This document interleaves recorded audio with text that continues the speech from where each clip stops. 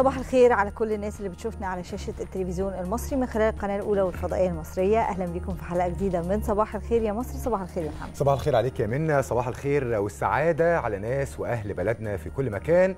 صباح الخير على أهلنا الصامدين في قطاع غزة وكل أرجاء فلسطين. امبارح زي ما تابعنا مع حضراتكم جميعا سريان الهدنة واليوم الثاني لهذه الهدنة في قطاع غزة. الحقيقة كان في بعض الإجراءات والعراقيل الفنية اللي عطلت تنفيذ ما تم الاتفاق عليه بخصوص تسليم المحتجزين اللي اتأخرت عملية التسليم لعدة ساعات. مصر مباشرة تدخلت وأجرت اتصالات مكثفة مع كل الأطراف وحلت كل الأمور العالقة لاستكمال تنفيذ المرحلة الثانية من صفقة تبادل الأسرى والمحتجزين. المرحلة الثانية امبارح تضمنت الإفراج عن 39 أسير فلسطيني من داخل السجون الإسرائيلية مقابل إطلاق سراح 13 محتجز إسرائيلي وسبعة من رعايا الدول الأخرى. امبارح حركة حماس أصدرت بيان قالت إنها استجابت للجهود المصرية المقدرة اللي تحركت طول اليوم لضمان استمرار اتفاق الهدنة المؤقتة بعد نقلها التزام الاحتلال بكافة الشروط اللي نص عليها الاتفاق وأعربت حماس في بيانها عن تقديرها للجهود المصرية لضمان استمرار الهدنة المؤقتة مع الجانب الإسرائيلي. منا مع بنود الاتفاق اتفاق الهدنة إلى جانب تبادل المحتجزين بالأسرى الفلسطينيين في بند مهم جدا هو بند المساعدات الإنسانية. يعني كان بينص هذا الاتفاق على إدخال المزيد من المساعدات الإغاثية والإنسانية عبر معبر رفح. والحقيقة مصر بتواصل إرسال هذه الشاحنات المحملة بالمساعدات الإنسانية إلى كافة مناطق القطاع ó, وتحديدا منطقة شمال قطاع غزة وعلى رأس هذه المساعدات المساعدات الطبية وشاحنات الوقود والسولار وخيم الإيواء للأهالي اللي تم تدمير منازلهم داخل القطاع. ده في الوقت اللي أعلن فيه الدكتور ضياء رشوان رئيس الهيئة العامة للاستعلامات إن في اتصالات مصرية مكثفة بتجرى حاليا مع كل الأطراف وده لتمديد فترة الهدنة بين الجانبين الإسرائيلي والفلسطيني لمدة يوم أو يومين إضافيين وده طبعا هيعني الإفراج عن مزيد من المحتجزين في غزة والأسرى الفلسطينيين اللي موجودين في السجون الإسرائيلية. قال كمان أن الدولة المصرية تلقت لغاية دلوقتي مؤشرات إيجابية من كافة الأطراف لتمديد فترة الهدنة. وإن شاء الله تستمر الهدنة ويكون في وقف كامل لإطلاق النار في أقرب وقت ممكن. مرة تانية إحنا بنصبح على حضراتكم. صباح الخير يا مصر. صباح الخير يا مصر. خلونا دلوقتي نصبح على زميلتنا دينا شرف ونتعرف منها على أخبار المرور والطقس في القاهرة والمحافظات. صباح الخير عليك يا دينا. صباح الخير يا محمد صباح الخير يا منى صباح السعادة والتفاؤل على كل المصريين في كل مكان. صباح الخير. بدأتوا تحسوا إن الجو بقى برد شوية آه يا دينا إيه الحكاية؟ الدنيا عمالة كل شوية الجو يبقى أبرد من, من أعداء الشتاء يعني. أصدقاء الشتاء. أصدقاء الشتاء. خلونا فعلا دلوقتي نستعرض مع حضراتكم بعض أحوال المرور في مناطق مختلفة من مصر. هنبدأ معاكم جولتنا من محافظة القاهرة وتحديدا من كوبري أكتوبر اللي بيشهد كثافات مرورية وتباطؤ في حركة السيارات اعلى الكوبري ده بسبب زيادة الأحمال على الوصلة المعلقة. حتى رمسيس والمتجه من مناطق وسط المدينة حتى مدينة نصر وشارع رمسيس.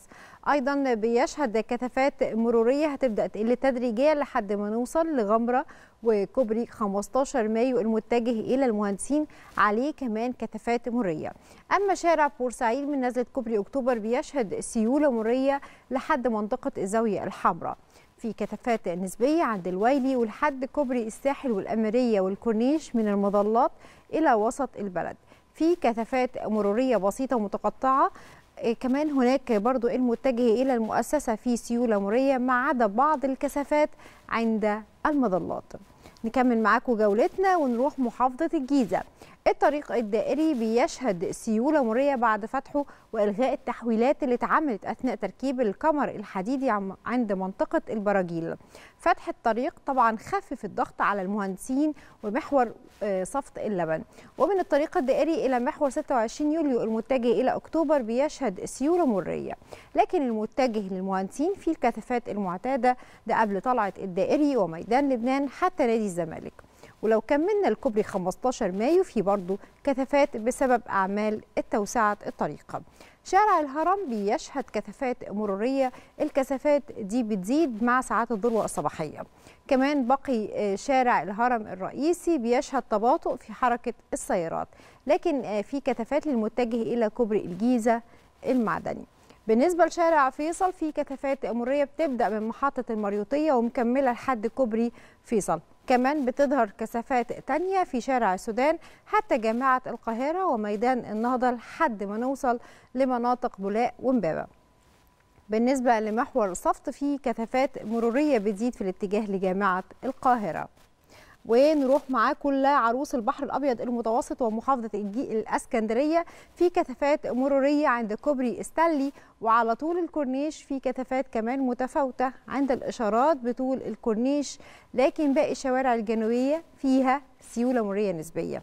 شارع جمال عبد الناصر في كثافات مرورية عند التقاطع مع محور محمد نجيب ونفس الأمر في شارع عبد السلام عارف اللي بيشهد كثافات مرورية لكنها متحركة.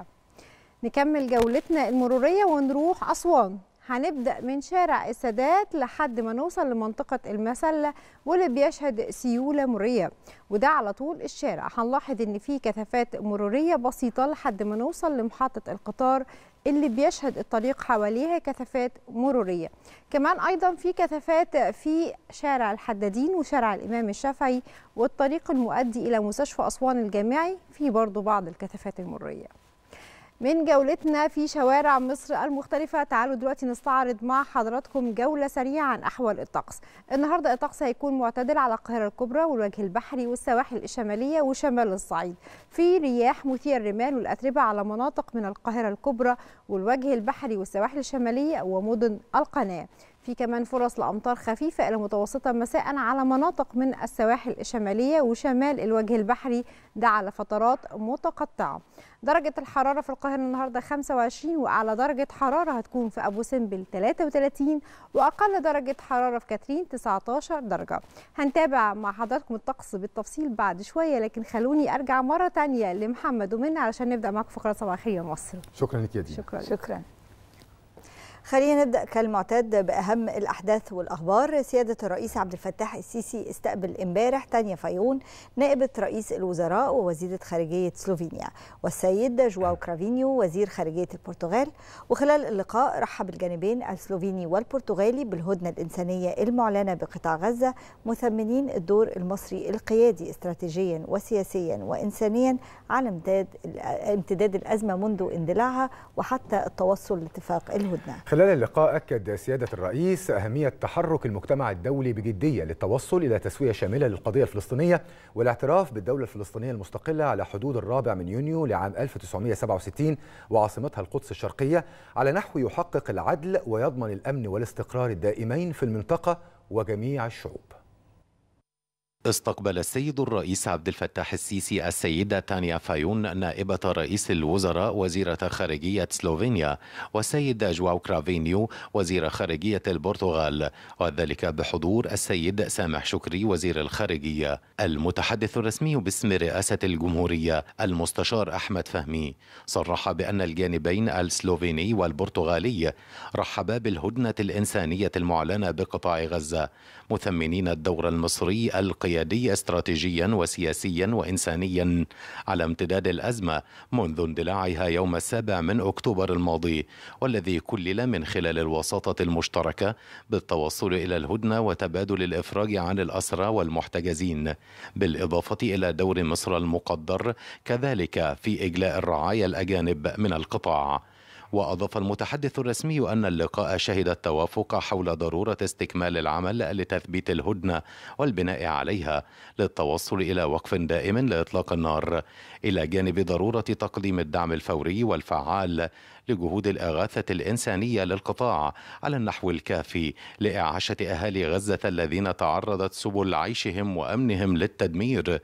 كما شهد اللقاء التوافق حول الرفض القاطع لتهجير أهالي غزة من أراضيهم. وقد ثمن السيد الرئيس مواقف دولتي البرتغال وسلوفينيا من النزاع منوها إلى عضوية سلوفينيا غير الدائمة بمجلس الأمن لعامي 2024-2025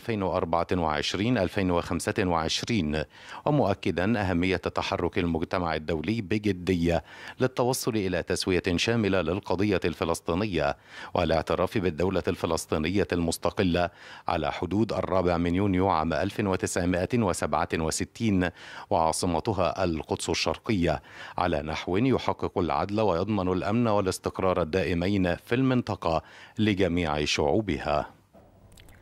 منتدى شباب العالم أعلن امبارح عن إطلاق مبادرة جديدة بعنوان شباب من أجل إحياء الإنسانية. دعا المنتدى كافة نشطاء ومؤثري العالم الحريصين على نبذ العنف ونشر قيم التسامح والسلام ودعم ضحايا الحروب والنزاعات للمشاركة في تلك المبادرة. المبادرة بتستهدف توحيد الجهود الدولية والشبابية لتعزيز المساعي نحو تحقيق السلام العالمي وكمان ترسيخ القواعد البناءة في وجدان الشباب بداية من حماية ضحايا الحروب والنزاعات في كل مكان دون النظر لعرق أو جنس أو دين وصولا إلى تحقيق السلام والعدالة في دول العالم.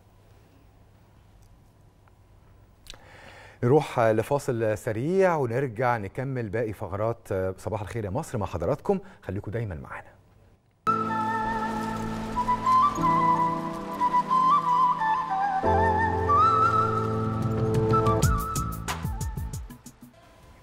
بنصبح على حضراتكم مرة تانية ودلوقتي جه ميعادنا مع أخبار الطقس بالتفصيل. وهيئة الأرصاد بتتوقع أن النهاردة الطقس هيكون معتدل على القاهرة الكبرى والوجه البحري والسواحل الشمالية وشمال الصعيد. حار على جنوب سيناء وجنوب الصعيد. بالليل الجو هيكون مائل للبرودة على أغلب الأنحاء. في رياح مثيرة للرمال والأتربة على مناطق من القاهرة الكبرى والوجه البحري والسواحل الشمالية ومدن القناة. في كمان فرص لأمطار خفيفة إلى متوسطة مساء على مناطق من السواحل الشمالية وشمال الوجه البحري وده هتكون على فترات متقطعة. تفاصيل أكتر عن حالة الطقس معانا على التليفون دكتورة منار غانم عضو المركز الإعلامي بهيئة الأرصاد الجوية. صباح الخير يا دكتور. صباح الخير على حضرتك أستاذة دينا وصباح الخير على كل السادة المشاهدين. أهلا بيك يا فندم. أهلا بحضرتك. حابين نطمن منك عن أخبار الطقس النهارده خصوصا إن إحنا عارفين إن في رياح مثيرة للرمال والأتربة وطبعا إحنا بندعو كلنا لمرضى الجيوب الأنفية. بالفعل يمكن كمان إحنا شفناها بالأمس في بعض محافظات الجمهورية ووصلت سرعات رياح في بعض الأماكن ل 50 و55 كيلو متر على الساعة بالأمس. وخاصة في المنطقة الغربية. بالإضافة. كمان كان في ارتفاع مؤقت في قيم درجات الحرارة. اليوم هيستمر تأثرنا بالكتل الهوائية الجنوبية القادمة من الصحراء الغربية. سرعات الرياح اليوم هتتراوح ما بين 40 إلى 50 كيلو متر على الساعة فبالتالي هيكون في استمرار بالفعل لنشاط الرياح المثير للرمال والأتربة في معظم محافظات الجمهورية. بالإضافة كمان طبعا نشاط الرياح ده بيؤدي لانخفاض في مستوى الرؤية الأفقية على الطرق فلازم ناخد بالنا بشكل كبير. آه كمان نشاط الرياح اليوم هيوصل على آه مسطح البحر المتوسط ما بين 65 ل 80 كيلو متر على الساعة فهيكون اليوم أيضا في اضطراب شديد في حركة الملاحة البحرية على البحر المتوسط البحر المتوسط غير مؤهل تماما لأي أعمال صيد وملاحة بحرية أو أعمال تنزل ارتفاع الأمواج حوالي كام يا فندم؟ آه ما بين 3 إلى 5 متر اليوم على. البحر المتوسط فهيكون طبعا اضطراب شديد جدا طبعا. لأن سرعات الرياح قوية جدا على البحر المتوسط وكمان سرعات الرياح عالية جدا على محافظات الجمهورية المختلفة. م. نشاط الرياح كمان اليوم هيخلينا نحس بمزيد من الانخفاض في قيم درجات الحرارة لأن متوقع اليوم درجات الحرارة تنخفض عن الأمس بحوالي من درجتين لثلاث درجات. العظمى على القاهرة الكبرى اليوم متوقع أن هي تكون 25 درجة مئوية خلال فترة النهار. فبالتالي نشاط الرياح الموجود هيخلينا نحس بمزيد من الانخفاض في قيم درجات الحرارة. أجواء معتدلة خريفية تماما فترة النهار. في معظم محافظات الجمهورية أو المحافظات الشمالية ممكن تكون مائلة للحرارة في المناطق الجنوبية اللي هي جنوب الصعيد ده فترات النهار. فترات الليل مع غياب أشعة الشمس هيكون طبعا في انخفاض في قيم درجات الحرارة لكن هيكون في مزيد من الإحساس بالبرودة في فترات الليل المتاخر فترة الصباح الباكر صغرى فترة الليل هتوصل ل 15 درجة مئوية فهنحس بانخفاض yeah. كبير في درجات الحرارة yeah. فترات الليل المدن الجديدة الأماكن المفتوحة الأماكن اللي لها ظهير صحراوي بشكل كبير بتحس أكثر كمان بانخفاض قيم درجات الحرارة أجواء بارده فترة الليل في معظم محافظات الجمهورية. طيب. بالنسبة لفرص سقوط الأمطار آه مع تحول الكتل الهوائية إلى كتل هوائيه شماليه قادمه من على البحر المتوسط اليوم خلال فترة المساء إن شاء الله متوقع أن يكون في فرص لسقوط الأمطار على المحافظات الساحلية المطلة على البحر المتوسط ومحافظات شمال الوجه البحري وهتكون أمطار ما بين خفيفة إلى متوسطة إن شاء الله ما تأثرش تماما على أي أعمال أنشطة يومية. فالأمطار دي هتبقى تبدأ فترة المساء وتستمر معانا غدا كمان لأن إحنا متوقع استمرار التقلبات الجوية. كنت لسه اسال حضرتك على الرياح المثيرة للرمال والأتربة هل مستمرة معانا كذا يوم ولا هتنتهي إمتى؟ الرمال والأتربة هينتهي اليوم إن شاء الله بتحول الكتل الهوائية فترة المساء لكتل هوائية شمالية هتنتهي تماما الأتربة والرمال في المسارع ويبقى فقط اضطراب حركة الملاحة البحرية على سطح البحر المتوسط غدا إن شاء الله. ارتفاع أمواج ما بين 3 إلى 4 متر. وكمان هيكون معانا فرص لسقوط الامطار هتستمر على المناطق الساحلية المطلة على البحر المتوسط على مدار يوم غدا بإذن الله وانخفاض في درجات الحرارة اخر لأن متوقع غدا كمان عظمى على القاهرة الكبرى 23 درجة مئوية فغدا. الأجواء تبقى أشبه بالأجواء الشتوية لأن هيكون فيها مزيد من انخفاض في قيم درجات الحرارة. ومع يوم الثلاث إن شاء الله تبدأ تستقر الأحوال الجوية بشكل جديد. هتتلاشى فرص سقوط الأمطار هتعتدل سرعات الرياح ويبقى انخفاض قيم درجات الحرارة. فعشان كده إحنا هننصح كل مرضى الحساسيه الصدرية والجيوب الأنفية. لو إحنا خارجين النهارده لازم نرتدي الكمامات لأن هم طبعا أكثر ناس بيعانوا في الوقت ده بسبب الأجواء اللي فيها أتربة ورمال مثاره القيادة تكون بهدوء تام على أغلب الطرق مع انخفاض الرؤية الافقيه بسبب الأتربة والرمال المثاره ونبتعد عن الوحلات المعدنية الأشجار المباني هناك أعمدة الإنارة طبعا بسبب سرعات الرياح العالية. وطبعا لازم نرتدي الملابس الشتوية. لو إحنا بنخرج فترة الصباح الباكر أو بنرجع من أشغالنا فترات الليل المتاخر لأن خلال الأيام المقبلة هنحس بمزيد من البرودة وطبعا المتابعة اليومية للنشاط يعني خلاص كده نبدأ خلاص يعني نطلع الهدوم الشتوي زي ما بنقول ونشيل الصيفي كل البيوت المصرية منتظرة ده لحد دلوقتي. مش قادرة تحدد بالظبط تعمل إيه. لا هو نبدأ طبعا تدريجيا نرتدي الملابس الشتوية وخاصة لو إحنا من الناس اللي بنخرج كتير فترة الصباح الباكر أو مم. بنرجع فترات الليل المتأخر لأن خلال الأيام المقبلة درجات الحرارة كلها تكون فيها انخفاض بإذن الله فترات النهار وأيضا فترات الليل. السؤال الأخير لحضرتك هل الأمطار دي هتمتد إلى القاهرة الكبرى وكمان بالنسبة للشبورة اللي بتصل يعني كثيفة ولا ضعيفة اليومين دول؟ طيب هي فرص تكون الشبورة المائية الأول خلال الأيام دي يعني النهارده وبكرة مش موجودة تماما لأن نشاط الرياح مش هيساعد على تكون الشبورة المائية. لكن هتعود في الظهور إن شاء الله من يوم الثلاث اللي جاي الشبورة المائية وهتظهر على أغلب الطرق الزراعية والسريعة والقريبه من المسطحات المائية. وأكيد طبعا هتؤدي لانخفاض في الرؤيه الافقيه لكن على الأقل في 48 ساعة القادمة ما فيش أي شبورة مائية. بالنسبة لفرص سقوط الأمطار هي هتبقى فقط في المناطق الساحلية وشمال الوجه البحري فمش هتمتد تمتد لاي مناطق من القاهرة الكبرى بإذن الله لأن المنخفض الجوي السطحي بيأثر أكثر على المناطق الموجودة في حوض بحر البحر المتوسط. أنا بشكر حضرتك شكرا جزيلا دكتورة منار غانم عضو المركز الاعلامي بهيئه الأرصاد الجوية على المتابعة اليومية معانا لحاله الطقس. خلونا دلوقتي نتابع مع حضراتكم درجات الحرارة المتوقعة النهارده. هنبدأها من القاهرة العظمى 25 الصغرى 17 العاصمة الإدارية 25 17 اسكندرية 24 17 العلمين الجديدة 24 17 مطروح 23 14 دمياط 25 17 بورسعيد 25 18 الإسماعيلية 26 13 السويس 25 14 العريش 25 13 كاترين 19 4 طابة 25 15 حلايب 30 22 شلاتين 31 22 شرم الشيخ 32 20 الغردقة 31 19 الفيوم 24 12 بني سويف 24 11 الوادي الجديد 29 10 أسيوط 25 11 سوهاج 26 13 قنا 29 14 الأقصر 30 15 أخيرا أسوان 32 16 يا ريت النهارده ناخد بالنا خلال النزول في ساعات اليوم من الرياح المثيرة للرمال والأتربة ونرتدي الكمامة علشان مرضى الجيوب الأنفية وحساسية الصدر ما يتضرروش. وكمان بنأكد إن في انخفاض ملحوظ في درجات الحرارة فيا ريت نرتدي الملابس الثقيلة في الساعات المتأخرة من الليل والصباح الباكر علشان ما نتعرضش لنزلات البرد هرجع مرة ثانية لمحمد ومنى علشان نكمل معاكم فقرات صباحية مصر. شكرا ليك يا دينا. شكرا ليك. لا يخفى على أحد التضخم اللي موجود في العالم كله والشكوى العامة من ارتفاع الأسعار في العالم كله. الحساب الختامي للعام المالي كشف عن اهتمام الدولة بتوسيع شبكة الحماية الاجتماعية اللي بتستهدف تخفيف الأعباء عن المواطنين خصوصا زي ما كنا بنتكلم في ظل التحديات الاقتصادية العالمية. بيانات وزارة المالية وضحت إن زيادة الإنفاق على الدعم زادت بنسبة أكثر من 51% وكمان في زيادة في الإنفاق على قطاع الصحة وقطاع التعليم. حقيقي زي ما انت قلت يا منى البيان الختامي للعام المالي بيؤكد إنه زيادة الإنفاق فيما يخص ملف الدعم وصل لرقم 50 و9 من 10% حابين نعرف دلالة الرقم ده وأوجه الإنفاق الخاصة بالدعم مع الدكتور محمد الشواتفي الخبير الاقتصادي. بنرحب بحضرتك دكتور محمد وصباح الخير. صباح الخير يا فندم عليك وعلى السادة المشاهدين والأستاذ. أهلا بيك. حابين نبسط شوية المعلومات كده للناس والمواطنين. الرقم ده يعني إيه معناه؟ الحساب المالي الختامي بيقول لنا إنه 50% فاصل 9 هو زيادة الإنفاق فيما يتعلق بالدعم. لما نقارن الرقم ده بأرقام سابقة لسنوات فاتت.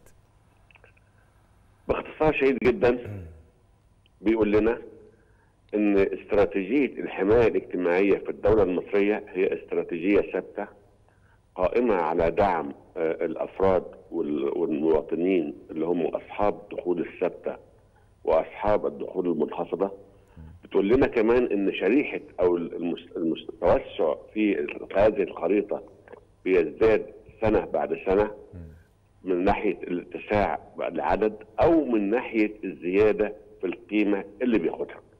الدولة المصرية عندها مجموعة من برامج الحماية الاجتماعية المتنوعة.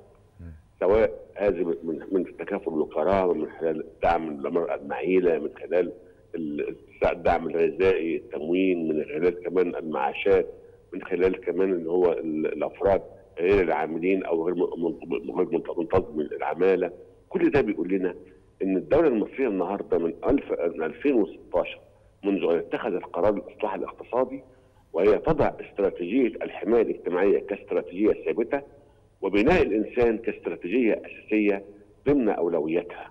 فإذا في ضوء في ضوء ذلك لأن العالم خلال من 2019 لحد النهارده بيسموها عالم تصدير الأزمات وعالم الأزمات المتنوعة والمتعددة. بمعنى إن كان في استراتيجية كورونا بعد كده حرب روسيا صحيح. النهارده غزة بعد ما تنتهي غزة في استراتيجية ثانية من هنا اصبح هناك في في الموازنة العامة للدولة. الدولة بتضع بنودا أساسية كاحتياطي لمواجهة التغيرات أو مواجهة الأشياء حتى لا يتأثر المواطن. معروف إن هو كل الحكايات الأزمات ديت عملت حاجتين. أول حاجة زودت التضخم بدرجة عالية كبيرة وفي نفس الوقت زودت الأسعار.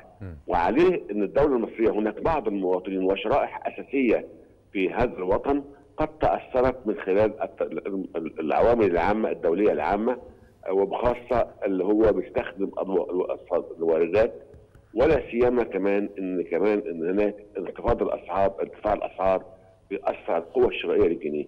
عشان كده النهارده لما آخد في الرقم ده فيه 51% زيادة يعني 50 من 10 51 51% زيادة عن العام الماضي. معنى ذلك إن هناك 50 في 51% تم إضافته النهارده عارف الموازنة العامة إنفاقه مش إضافته إنفاقه في المواطن المصري على أنواع متعددة.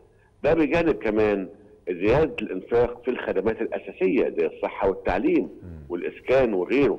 معنى ذلك إن النهارده موازنة مصر تضاعفت خلال السنوات الأربعة الماضية ما يساوي 300% أو أكثر بمعنى إنها كانت عبارة عن تريليون و210 النهارده بقت 3 تريليون ونص. فمعنى ذلك إن هناك زيادة كبيرة. وكمان في حاجة مهمة جدا برضه تضاف إن هناك أصبح النهارده هناك فائض أولي في داخل الموازنة المصرية بعد ما كان هناك عجز مطلق وعجز دائم. هذا الفائض الأولي بيقول لنا إن أصبح هنا في استراتيجية الإنفاق العام استطاعت الدولة من خلال الإنفاق العجبيه الحكومية إنها ترشده والإنفاق على الأفراد زاد بنسبة المرتبات زاد الثلاث سنين اللي فاتوا مرتين. فمعنى ذلك إن هناك دائما توجه من الدولة على ترشيد الإنفاق العام في نفس الوقت زيادة الاجور زيادة الأجور والمرتبات حماية اجتماعية بالإضافة كمان إلى التوسع في الاستثمار والاستثمارات وتوطين الصناعة. كل ده عشان إيه؟ علشان يقدر يوفر حياة كريمة بما يسمى جودة الحياة للمواطن المصري باعتبار إن هذا المواطن حق من حقوقه أن ترعاه الدولة وحق من حقوق الفقراء أن يكون هناك ألا يتأثر بأزماته وبالتالي كمان لما اخذ كمان سلعه الدعم الغذائي أو السلع الأساسية التموين سواء نقدي أو سلعي أجد كمان إنه زاد تقريبا أكثر من 34% خلال العامين الماضيين. وكذلك كمان هناك أنشطة أخرى.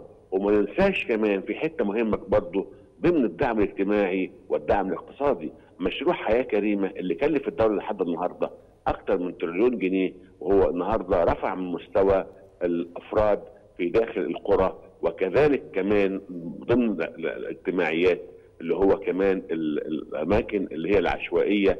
النهارده أصبح في مصر لا توجد منطقة عشوائية وأصبح هناك حياة كريمة إسكان جيد لكل مواطن ودخول موجودة لكل الأفراد اللي هم غير ليس لا يوجد لهم دخول أو معدوم الدخول أو منخفض الدخول. طب دكتور عايزه عايزة أقاطع حضرتك هنا بعد إذنك.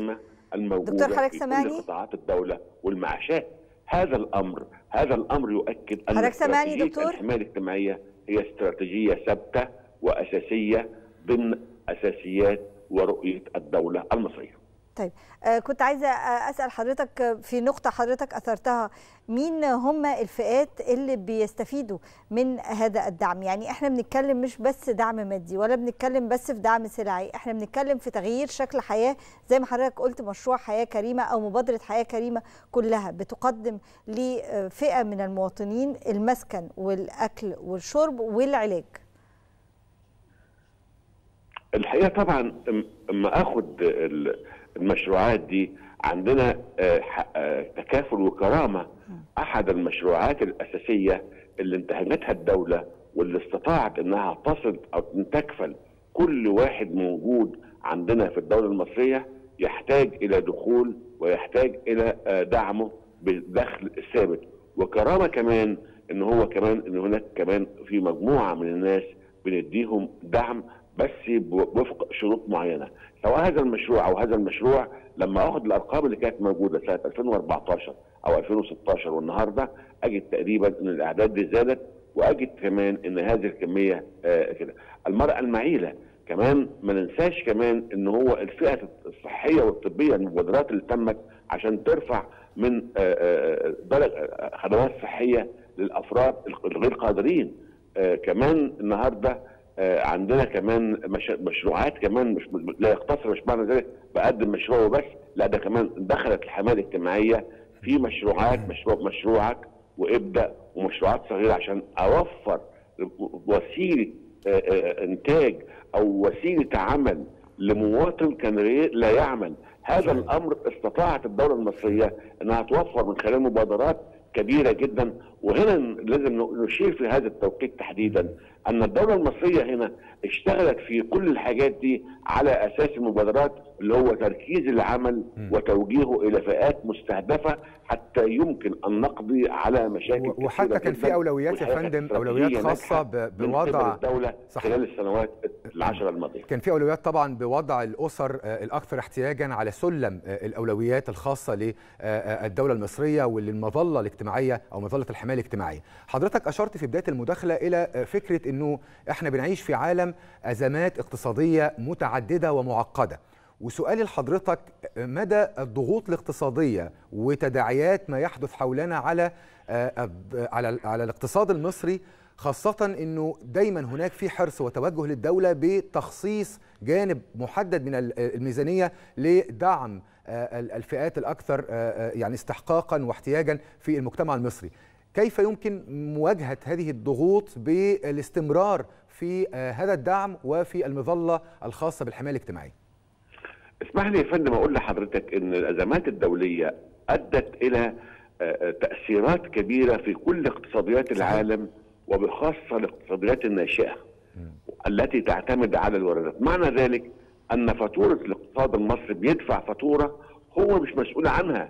المسؤولة عنها جهات أخرى بمعنى أن هو كورونا إحنا مش مسؤولين عنها حرب أوكرانيا وروسيا إحنا مسؤولين عنها غزة النهاردة إحنا مش مسؤولين عنها. لكن في نفس الوقت يحسب لهذه الحكومة يحسب لهذه الحكومة أنها استطاعت أن تدير الأزمات بشكل جيد وأنها تخرج من هذه الأزمات في كورونا هي باقتصاد مصر من الدول الأساسية التي حققت معدلات نمو ضمن المنطقة ككل.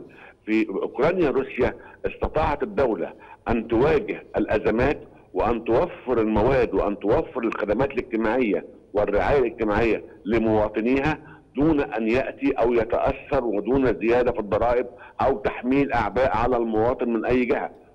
وكذلك المواطن المصري لم يشعر في يوم من الأيام بنقص سلعة موجودة صحيح. في السوق. صحيح. لكن ارتفاع الأسعار ده مرتبط بعدة حاجات. إن لما أمريكا رفعت الفوائد فالقوة الشرائية أو قيمة العملات الوطنية في داخل دول العالم بما فيها أوروبا وبريطانيا وفرنسا انخفضت أمام الدولار باعتبار الدولار العملة الأساسية وبالتالي الدولة المصرية من ضمن هذه الدول لكن هنا نقول دايما أن هو الأزمة تحدث لكن تختلف تأثيراتها من دولة صحيح من دولة إلى أخرى دكتور. محمد حضرتك معانا؟ بنشكر دكتور محمد الشواتفي الخبير الاقتصادي. وزي ما قال لنا إنه بالرغم من كل الضغوط الاقتصادية اللي موجودة وتداعيات الحروب بداية من أزمة كورونا مرورا بالحرب الروسية الأوكرانية وصولا إلى حرب غزة أو حرب إسرائيل على قطاع غزة الدولة بتقدم حوافز خاصة بدعم الاقتصاد وتحديدا فيما يتعلق ببند الدعم في الموازنة. زي ما إحنا قلنا الحساب الختامي المالي يعملنا بيقول لنا إنه حوالي 50.9 من 10 يعني بنتكلم على 51 في المية مخصصين فقط للإنفاق في بند الصحة والتعليم. المهم يا محمد فكرة توزيع الدعم اللي بيحصل ده. إنه ما بيبقاش في اتجاه واحد يتم فقط دعمه وتتساب باقي الاتجاهات أو باقي القطاعات بلا دعم لأن إحنا عارفين إن إحنا قعدنا سنين طويلة جدا عندنا إهمال في العديد من القطاعات. ففكرة توزيع الدعم بحيث إن جميع القطاعات تنهض في نفس الوقت حتى وإن كانت النسب قد تكون أقل من توجيه كل الدعم لقطاع واحد ولكن لما يبقى عندنا دعم موجه لقطاع الصحة في نفس الوقت للتعليم في نفس الوقت للإسكان في نفس الوقت ل كمان إحنا مش هننسى مشروع زي مشروع تبطين الترع اللي بيخدم جزء كبير جدا. فإحنا بنمشي على التوازي نوقف هدر الميه اللي موجود نرفع صحيح. من القيمة السوقية للأرض اللي موجودة معانا الزراعية فإحنا بنتكلم على مستويات عدة فيها صحيح. نوع من أنواع الاستفادة صحيح. أعتقد هو ده اللي بيحصل في الفترة اللي فاتت كلنا تابعنا طبعا المرحلة الثانية أو اليوم الثاني من اتفاق الهدنة اللي تم برعاية مصرية قطرية أمريكية وإمبارح كان في مجموعة كده من المعوقات والعراقيل الفنية أخرت نعم.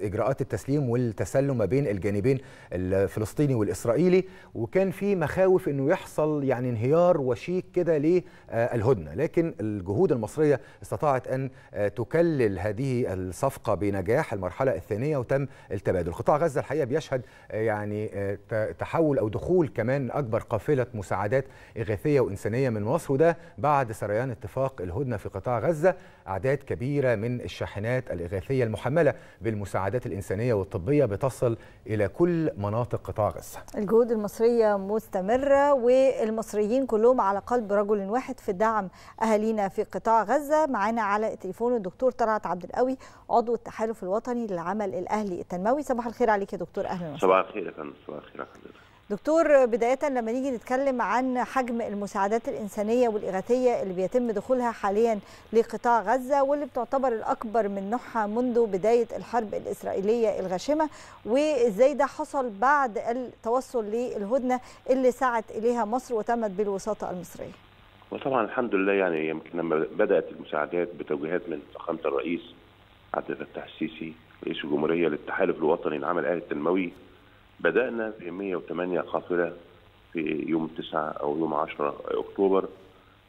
أول أمس انطلقت 557 قافلة ودي غير مسبوقة. هيبقى المحصلة اللي تمت في المراحل الأربعة 975 قافلة أو شاحنة محملة بالأغذية الأدوية المستلزمات الطبية. تقريبا كم طن يا فندم؟ إحنا بنتكلم في حوالي إيه 9000 طن. أكثر من 9000 طن. ودي تعتبر يعني ده ده جهد الجهود الشعبية فضلا عن 3000 طن. إحنا بنتكلم في 12000 طن. العالم كله يعني ما جابش أكثر من 3000 طن. يعني مصر ساهمت باكثر من 80% من جملة المساعدات الإنسانية اللي دخلت يعني غزة. ودي طبعا عملية يعني علامة بارزه على الدور المجتمع الأهلي الانساني المصري وتوجيهات القيادة. وعشان ما حدش يزايد على مصر ولا حد يزايد على المعبر لا المعبر مفتوح زي ما فخامه الرئيس قال في لقائه مع الناس مع الجماهير ومعانا في الاستاد. المعبر مفتوح على طول يوميا. وطبعا دي المساعدات دي مساعدات ضخمة جدا جدا جدا وغير مسبوقة. وديت يعني أقل حاجة ممكن يقدمها الشعب المصري للشعب الفلسطيني. وإحنا مستمرين يعني إحنا مش يعني لازاله الكميات ولا ازاله القاطرات بتتحمل داخل القاهرة وخارج القاهرة وشيء جميل ويسعدنا جميعا إن كل الجمعيات والمؤسسات الاهليه حتى اللي هي الجمعيات القاعدية البسيطة صحيح. بتحاول تساهم ولو بقدر بسيط من إمكانياتها وهي بيروح رغم الظروف الاقتصادية اللي بتمر بها الدولة صحيح. وبيمر بها العالم ولكن يعني شعور مصري محترم وإحساس مصري يحسب وطبعا يعني إحنا كلنا شفنا الاصطفاف اللي كان موجود في استاد القاهرة وتنطلق أكبر قافلة ممكن يشهدها العالم من الشعب المصري إلى إخواته الشعب السعودي طبعا لها أبعاد قوية جدا. دي بتحافظ على الأمن القومي المصري لأن إحنا النهارده طبعا يعني إخواننا في غزة في طبعا في حالة يرثى لها ولابد إن إحنا كلنا نقف معاهم ونساعدهم ونحافظ عليهم يعني والمحافظة عليهم هي محافظة على أمن وسلامة مصر يعني. صحيح. طب. دكتور طلعت زي ما حضرتك قلت يعني كل الجمعيات ليست فقط الجمعيات الكبرى أو المشهورة في العمل الأهلي والمدني بتقدم هذه المساعدات الإغاثية لكن كمان الجمعيات الصغيرة اللي يعني اسمها الجمعيات القاعدية اللي هي قد تكون يعني أمورها بسيطة جدا أو حتى نشاطها مقتصر على يعني أسر صغيرة أو قرى صغيرة حتى بتحب تساعد. سؤال لحضرتك إزاي التحالف الوطني للعمل الأهلي والتنموي بينسق مع كافة هذه المؤسسات فيما تتضمنها أيضا المؤسسات الصغيرة اللي بتعمل في العمل الأهلي وعايزة تساعد بأي شكل من الأشكال أهلنا في قطاع غزة. طبعا إحنا عندنا التحالف عمل غرفة عمليات مركزيه بتتلقى كل الطلبات وكل الرغبات من كل الجمعيات والمؤسسات الأهلية على مستوى الوطن بشكل على مدار اليوم وإحنا كاتحاد عام جمعيات أهلية خلال اتحاداتنا الإقليمية والنوعية بنعمل وسيلة التواصل يعني الخط مفتوح على طول بشكل يومي وبشكل يعني كل دقيقة بيجي لنا اتصالات. أي جمعية في أي قرية في أي مدينة في أي حي بتقول والله أنا عايز أقدم مساعدات بنقول لها طيب والله حتى كمان في أمر جلل إن إحنا بنقول لهم آه يعني آه أنت عايز تقدم مساعدات يا ريت تركز مثلا على الملابس يا ريت تركز على البطاطين يا ريت تركز مثلا على أنواع معينة من الغذاء عشان إحنا يهمنا عشان يحصل حتى تنوع ما يحصلش إنه يبقى فيه تضارب أكتر يعني. وإيه وإيه الحاجة اللي مطلوبة؟ وفي توجه قوي جدا إن شاء الله يعني هناك في سينا يجهز مخازن كبيرة ممكن جدا يتحط فيها الحاجات دي كلها لأن طبعا أنت عارف المعبر والجانب الاسرائيلي كل يوم يعني في تعنت برضه وبعد الهدنة برضه بيبقى فيه القصف وغيره.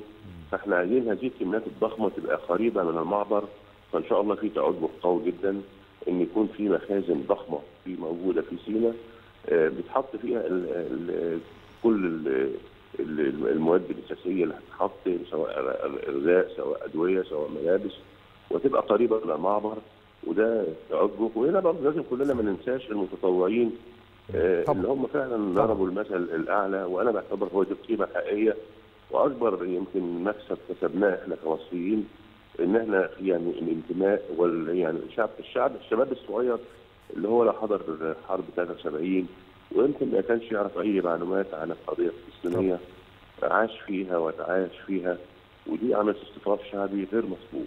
يعني النهارده في اصطفاف شعبي غير مسبوق إحنا كل يوم بنعمل اتفاقات أنا امبارح كنت في الغربيه لقاءات مع الجمعيات الأهلية يعني كل جمعيات الأهلية الغربية كل الجمعيات لا كلها يعني واقفة وكلها بتأيد الرئيس على تحسيس خطواته ودعم القياده السياسية. وطبعا ودي ده ده بقى دي مصر يعني دي مصر اللي هي النهارده واقفة كلها على قلب رجل واحد. الحمد لله يعني إحنا ادينا مثال للعالم كله في إن مصر فعلا وزي ما كنت حضرتك بتقول في المقدمه أو حضرتك بتقول في المقدمه إن موضوع تبادل الاسرى والهدنة ما ما حدش يزايد اللي قام بالموضوع ده مصر. مهما يتقال من فترات أخرى لا هو الأصل هي مصر. هي اللي قامت بهذه المفاوضات وهي مصر أصبحت الدولة الوحيده التي تستطيع أن تخاطب وأن تتفاعل وأن تتواصل مع كل الأطراف. يعني مصر بتحب كل الأطراف اللي في الأزمة. مصر الدولة الوحيدة اللي هي بتستطيع أن تتواصل معاها وعشان كده الحمد لله يعني أنا بنامل طبعا أن الهدنه تستمر وده أمل لينا وحفاظا على الشعب الفلسطيني وحفاظا على المدنيين. وما نقدرش ننسى أيضا الدور اللي بتقوم بيه مصر دلوقتي وزاره الصحة والسكان في استقبال الجرحى والمصابين والمستشفيات المصرية والأطباء المصريين الشرفاء والتمريض اللي هو كله كل كبار أطباء مصر وهم ما رضوش يذكروا أسمائهم قالوا إحنا عندنا استعداد نروح ندخل غزة ونتعامل مع المصابين هناك أو نستقبلهم هنا لا يعني أنا بعتبر روح جميلة جدا وروح يعني عظيمة وهي دي مصر اللي إحنا كلنا ما حدش يقدر يزايد على مصر لا على قيادتها ولا على شعبها ولا على حكومتها. لا يتم أنا بصراحة دي تعتبر يعني قصة نجاح وقصة يعني مش قصة حقيقة واقعة إن مصر هي طول عمرها من 48 اللي وقفت مع القضية الفلسطينيه ولا زالت وضحينا ب 120 ألف شهيد وبرضه عندنا استعداد نضحي من أجل القضية الفلسطينيه. دكتور طلعت أعتقد ما يحدث هو جزء من ال ال ال يعني الطريقة اللي شغالة بيها مصر زي ما حضرتك بتقول منذ قديم الأزل سواء التوجه ناحية القضية الفلسطينية أو العمل الأهلي التنموي اللي موجود في مصر برضه منذ قديم الأزل. لما بيحصل تنسيق ما بين قضيتين هما الاثنين بيبقوا واحد من الثوابت المصرية أعتقد ده بيكون النتيجة. وبرضه باكد لحضرتك طبعا هو في بين المجتمع الأهلي وبين الحكومة ومع وزارة التضامن الاجتماعي ومع كل جهات الدولة وكل الجهات المعنية. المجتمع الأهلي لا يعمل في معزل والحمد لله إحنا طبعا عندنا قانون بينظم العمل الأهلي قانون جيد وطبعا في انطلاقة كبيرة جدا. وبرضه نطمن إخواننا المصريين والأسر الاكثر احتياجا إن المجتمع الأهلي ما بينساهمش دلوقتي ومش هينساهم داعم ليهم وهيقف معاهم. مش معنى إن إحنا في مساعدات إنسانية بتروح غزة إن إحنا هن يعني هن هنبعد ومش هنساعد ومش هيحصل مساعده لا بالعكس هتبقى في مساعدات الفترة القادمة هتشهد مساعدات كبيرة جدا جدا جدا. للاسر الاكثر احتياجا اللي هو الدور أصلا اللي التحالف الوطني لعمل الاهلي التنموي بدأ بيه.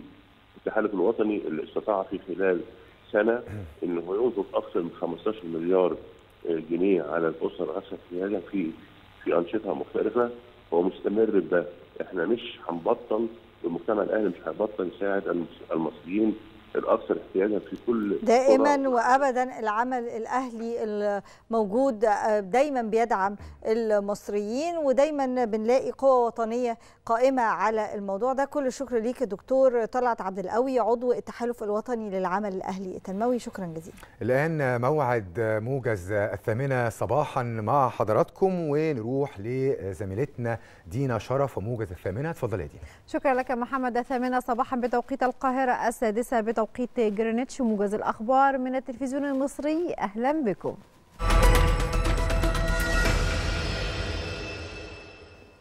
أشاد الرئيس عبد الفتاح السيسي بمواقف دولتي البرتغال وسلفانيا من التصعيد الإسرائيلي مؤكدا أهمية تحرك المجتمع الدولي بجدية للتوصل إلى تسوية شاملة للقضية الفلسطينية. جاء ذلك خلال استقبال الرئيس السيسي تانيا فاغون نائبة رئيس الوزراء وزيرة خارجية سلفانيا وجواو كرافينيو وزير خارجية البرتغال. وأوضح المتحدث باسم رئاسة الجمهورية أن الرئيس السيسي أكد أهمية الاعتراف بالدولة الفلسطينية المستقلة على حدود الرابع من يونيو 1967 وعاصمتها القدس الشرقية على نحو يحقق العدل ويضمن الأمن والاستقرار الدائمين في المنطقة وذلك لجميع شعوبها.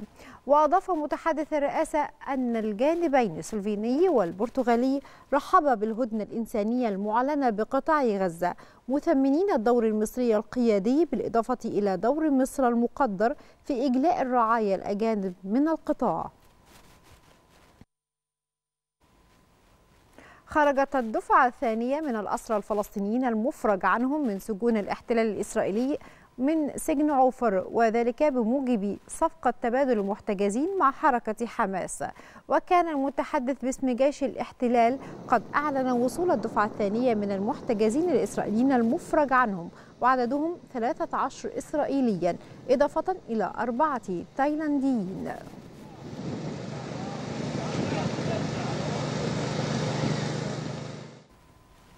يتوجه وزير الخارجية سامح شكري إلى مدينة برشلونة الإسبانية للمشاركة في المنتدى الوزاري الثامن للاتحاد من أجل المتوسط الذي ينعقد غدا الاثنين لمناقشة تطورات الأوضاع في غزة. كما يتوجه شكري يوم الثلاثاء المقبل إلى نيويورك للمشاركة مع باقي أعضاء اللجنة الوزارية في جلسة الإحاطة التي يعقدها مجلس الأمن بشأن الشرق الأوسط وذلك لاستعراض الموقف العربي والإسلامي الداعي إلى وقف الحرب في القطاع. تظاهر آلاف الأشخاص بالأعلام الفلسطينية أمام مبنى البرلمان الكندي في أوتاوا مطالبين بوقف دائم لإطلاق النار في قطاع غزة. وجاءت التظاهرة إثر إطلاق عريضة إلكترونية تم تقديمها إلى المشرعين الجمعة بعد جمعها وعددهم 287719 توقيعا لحث رئيس الوزراء جاستن ترودو على الضغط من أجل وقف دائم لإطلاق النار في غزة. وضمت التظاهرة أطيافا متنوعة من المشاركين بين منظمات فلسطينية وعربية ومسلمة ويهودية ومناهضة للحرب وعمالية ومنظمات عدالة اجتماعية.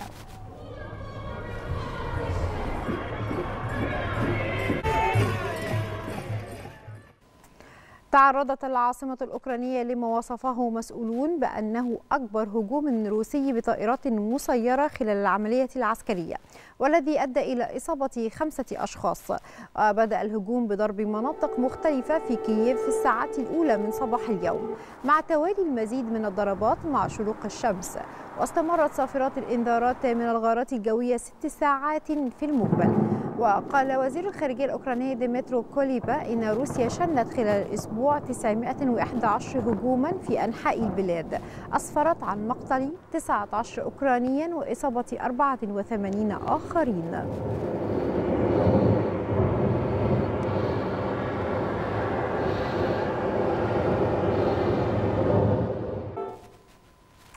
قال الرئيس الأوكراني فلاديمير زيلينسكي إن بلاده بحاجة لمزيد من الدفاعات الجوية لحماية طرق تصدير الحبوب والمناطق المتاخمة لروسيا. وأضاف زيلينسكي في كلمة أمام قمة دولية حول الأمن الغذائي في كييف؟ أن هناك عجزا في الدفاع الجوي ببلاده مشيرا إلى أن الأمر ليس سرا. وأشار زيلينسكي إلى أن الشركاء الأجانب سيزودون كييف بسفن لمرافقة قوافل سفن الشحن من الموانئ الأوكرانية لضمان أمنها.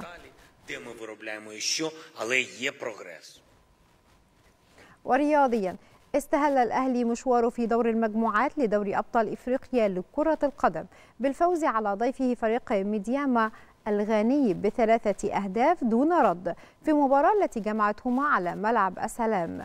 وسجل ثلاثية الأهلي كل من محمود الكهرباء وحسين الشحات وصلاح محسن ليحقق حامل اللقب الانتصار الأول في دور المجموعات ويتصدر ترتيب المجموعة الرابعة بالتساوي مع فريق شباب بلوزداد الجزائري. فيما تذيل ميدياما الغاني ترتيب المجموعة رفقة يانج أفريكانز التنزاني بدون رصيد من النقاط. ختام موجز الثامنة فاصل ونعود لحضراتكم لاستكمال باقي فقرات صباح الخير يا مصر.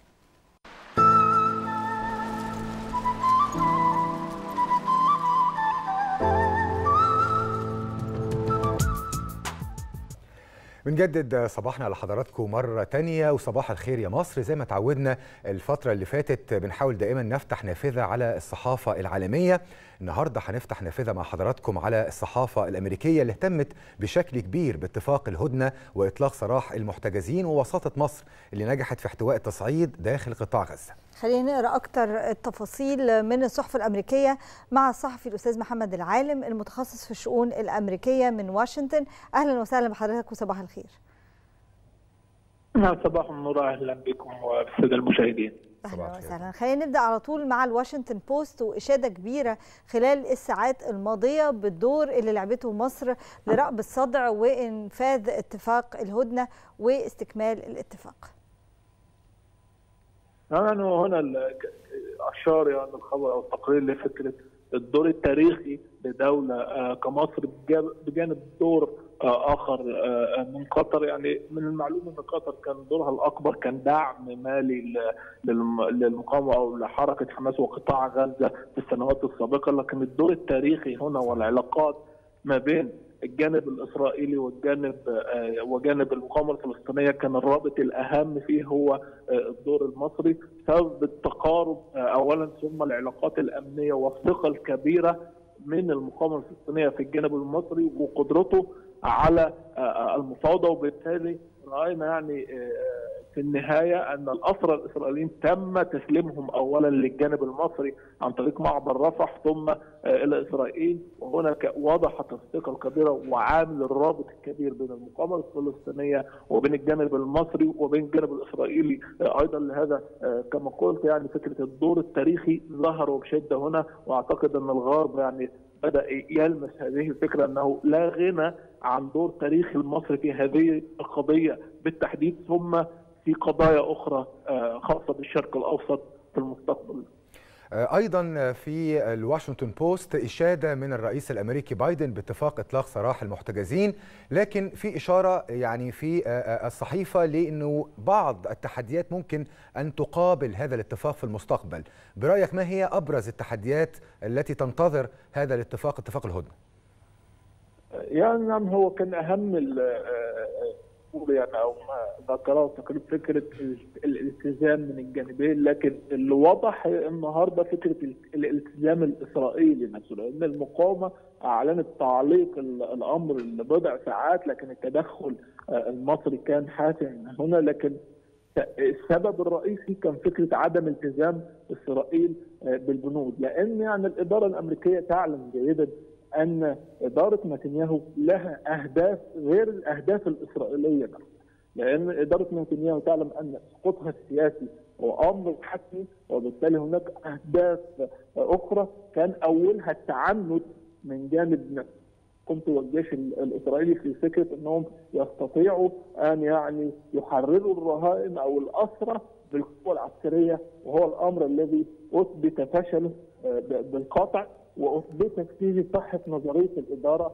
الأمريكية، وبالتالي التخوف الأكبر هنا من فكرة إدارة نتنياهو وإدارة يعني موقف لهذا يعني يعني تبينت هذه التخوفات، أيضا كان في إشارة لفكرة يعني حماس أو الجانب الفلسطيني لكن لا أعتقد أنها مؤثرة لأن يعني الطرف الذي يسيطر على كل شيء حاليا على الأرض هناك هو الجانب الإسرائيلي. الحقيقة يعني الصحافة الأمريكية وغيرها من الصحف العالمية اهتمت بالمشهد امبارح. المشهد كان بيتصدر العناوين والمانشيتات للصحف ووسائل الإعلام الغربية. فكرة استمرار هذه الهدنة أو اليوم الثاني لتبادل ما بين الأسرى المحتجزين في الجانب الفلسطيني في غزة تحديدا وأمام الأسرى الفلسطينيين. كان في حديث عن تبادل حوالي 13 إسرائيلي إلى جانب سبعة من الجنسيات الأخرى مقابل 39 فلسطيني من السجون الإسرائيلية وكان الحديث أيضا عن الإفراج عن الأقدمية من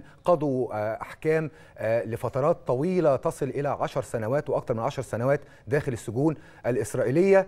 كل المراقبين السياسيين بيتحدثوا إنه فرصة أن يتم في اليوم الثاني التمديد لليوم الثالث والرابع الاتفاق بيتحدث عن أربعة أيام وأن تكون فرصة لهدى إنسانية أخرى وصولا لوقف إطلاق النار يمن. كان في تفاؤل موجود دولي بالأمس بسبب إن الأمور بقت طيبة وإن بقى في نوع من أنواع الاستقرار اللي موجود وعلشان كده هناك صحيح. تخيل إنه إن شاء الله وارد جدا إنه يتم تمديد الهدنة دي ويبقى في وجود هدن أخرى. إحنا عايزين نتحول بقى لجريدة أخرى ونتحول للنيويورك تايمز. نيويورك تايمز شافت في تطورات حصلت وكان في بقى تناول مختلف للتطورات الخاصة بالهدنة خلال الساعات الماضية.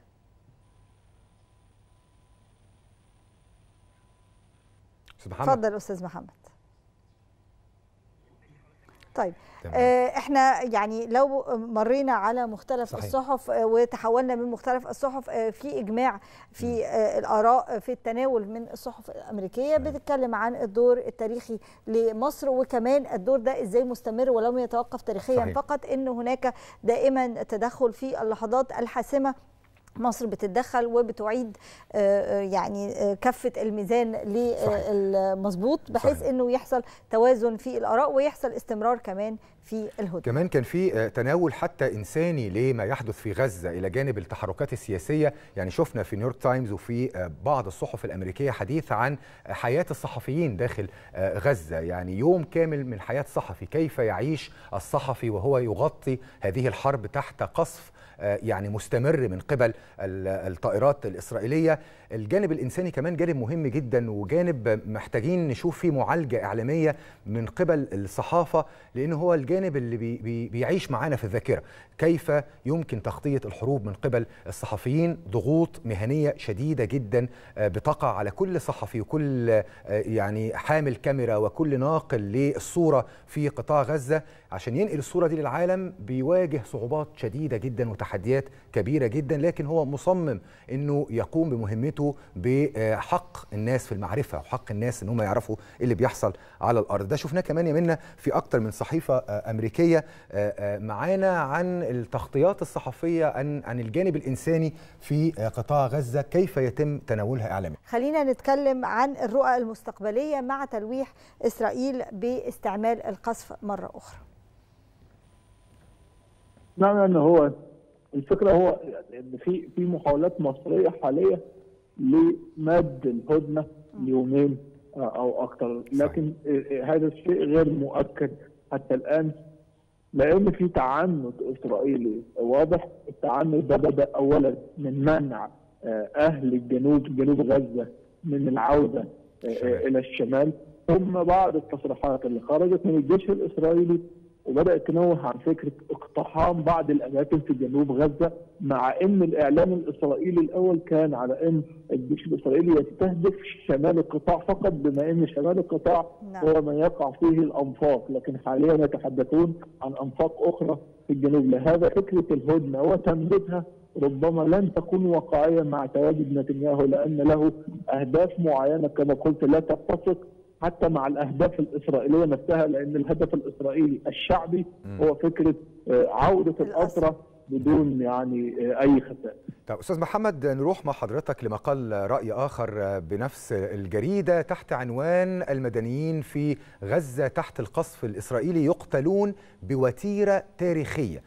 المقال بيقدم رصد لوتيرة القتل المستمر واللي بيتعرض ليه اهلنا في قطاع غزة. أبرز ما جاء في هذا المقال. هو يعني بيتحدث عن فكرة إن خلال فترة الحرب ومنذ بدءها من سبع حتى الآن وصل الأعداد المعلنة فقط لأكثر من 15000 يعني هو بيحط نظرة واقعية حاليا إن فكرة إن العدد الحقيقي ربما يصل إلى 20000 حتى قبل انتهاء الهدنة لأن من هم تحت الأنقاض قتل. وفكرة القتل بأسلحة حتى أسلحة مجرمة دوليا يعني قنابل فسفوريه وما إلى ذلك. وشكل الجثث نفسها جثث الأطفال والنساء وطريقة احتراقها تدل على إن في أسلحة أخرى ربما لم يسمع عنها العالم قد تم استخدامها وبالتالي تحولت غزة إلى مسرح للعرض العسكري وتجريد بعض الأسلحة الجديدة ووتيرة القتل أو الشهداء اللي بيسقطوا يوميا كانت أكبر من المتوقع. وبالتالي أيضا في توقع هنا إن إذا امتدت الحرب كما يرضها نتنياهو لثلاثة أشهر أخرى إلى عام فإن الأعداد ممكن تصل إلى مئات الآلاف وبالتالي تكون فعليا إبادة وليس فقط توقع إبادة. وبالتالي هو يتحدث هنا عن وتيره شرسة يعني اختصت الأطفال والنساء لأن أكثر من 70% من عدد الشهداء هم من الأطفال صحيح. والنساء. وبالتالي يعني تثبت الرؤية التي قالت أن يعني بنك الأهداف الإسرائيلي هم الأطفال والنساء لرؤية يعني ذهنيه عندهم في يعني معتقداتهم فكره قطع النسل حتى يتم قطع يعني القضية نفسها وبالتالى هو يشير إلى مدى الجرم وأعتقد أن هذا المقال يثبت أن إسرائيل هي مجرمة حرب وأن تقديم نتنياهو إلى المحكمة الجنائية الدولية ضرورة كبرى على الرغم من معرفة العالم المسبقة أن إسرائيل لا تلتزم بأي قانون ولا تلتزم بأي أحكام دولية. ختاما نتحول لل USA Today ونختتم بقى بتقرير إنساني زي ما زميلي محمد كان بيتكلم في الفقرة السابقة وبنقول إنه قد إيه بيحاولوا يصلوا ل يعني يرصدوا كده المشاعر اللي موجودة بترصد المخاطر اللي بيتعرض لها الصحفيين في غزة. والتقرير بيعمل معايشة بعنوان هل متنا أسبوع في حياة صحفي في قطاع غزة. لو حضرتك تكلمنا عن تفاصيل هذا التقرير. هو اولا يعني يعني في شاهد الأيام الأخيرة على فكرة إن الصحافة في غزة بتقوم بدور تاريخي وهو حصول يعني الصحفي معتز العزايز على جائزة دولية كصحفي العام تقديرا لما يقوم به حاليا، أما التقرير فهو بيشير إلى فكرة يعني خطر الحياة الذي يواجهه الصحفي يوميا لمجرد نقل الخبر. وفكرة إن القوات الإسرائيلية نفسها بتستهدف الصحفيين عن عمد لأنهم لا يريدون الصورة الحقيقية تصل ده بيرجع لفكرة إن الرأي العام العالمي الشعبي العالمي انقلب عليهم نتيجة الصور التي تخرج من قطاع غزة وبالتالي عدد كبير من الشباب حول العالم وخصوصا في الداخل الأمريكي اللي الاستطلاعات أثبتت إن 70% من الشباب الامريكان غير راضيين عما يحدث من الجانب الاسرائيلي تجاه قطاع غزة نتيجة أنهم بدأوا يحصلوا على الصورة من وسائل التواصل الاجتماعي وليس من وسائل الإعلام التقليدية وبالتالي بدأوا ينقلبوا على وجهة النظر الأمريكية الرسمية ولم ينخدعوا يعني بالتهيئة الإعلامية الأولى في الداخل الأمريكي، كل هذا جاء نتيجة أن هؤلاء الصحفيين خسروا حياتهم لنقل الصورة. والمخاطرة الأكبر هنا هي فكرة أهاليهم استهداف أهاليهم حتى يتم رضعهم. وكان هذا يعني يعني واضح جليا في فكرة خروج الصحفية بليسيا وهي من أصول فلسطينية إلى الخارج نتيجة استهدافها عن عمد واستهداف أسرتها. وده استهداف كمان كان إلى فكره يوم الصحفي الغير عادل لأن القوانين الدولية تجرم أثناء الحرب وحتى غير الحرب فكرة صحيح. استهداف وسائل صحيح. الإعلام لأنه من المفترض أن تكون وسائل الإعلام في أمان تام حتى تستطيع أن تنقل الصورة صحيح. بحيادية كاملة لكن للأسف يعني الجانب الإسرائيلي وكما عود العالم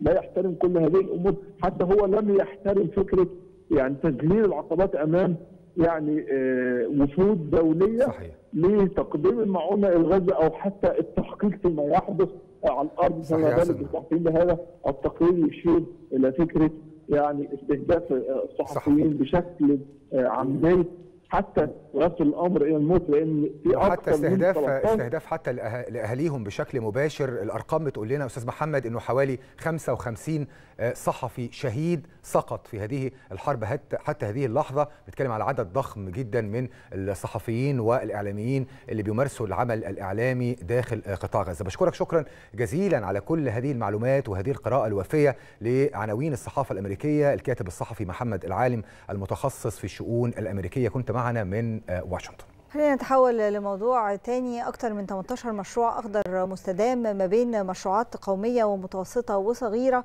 ومشروعات مرأة بتستعد لتمثيل مصر في مؤتمر المناخ كاب 28 خلال أيام.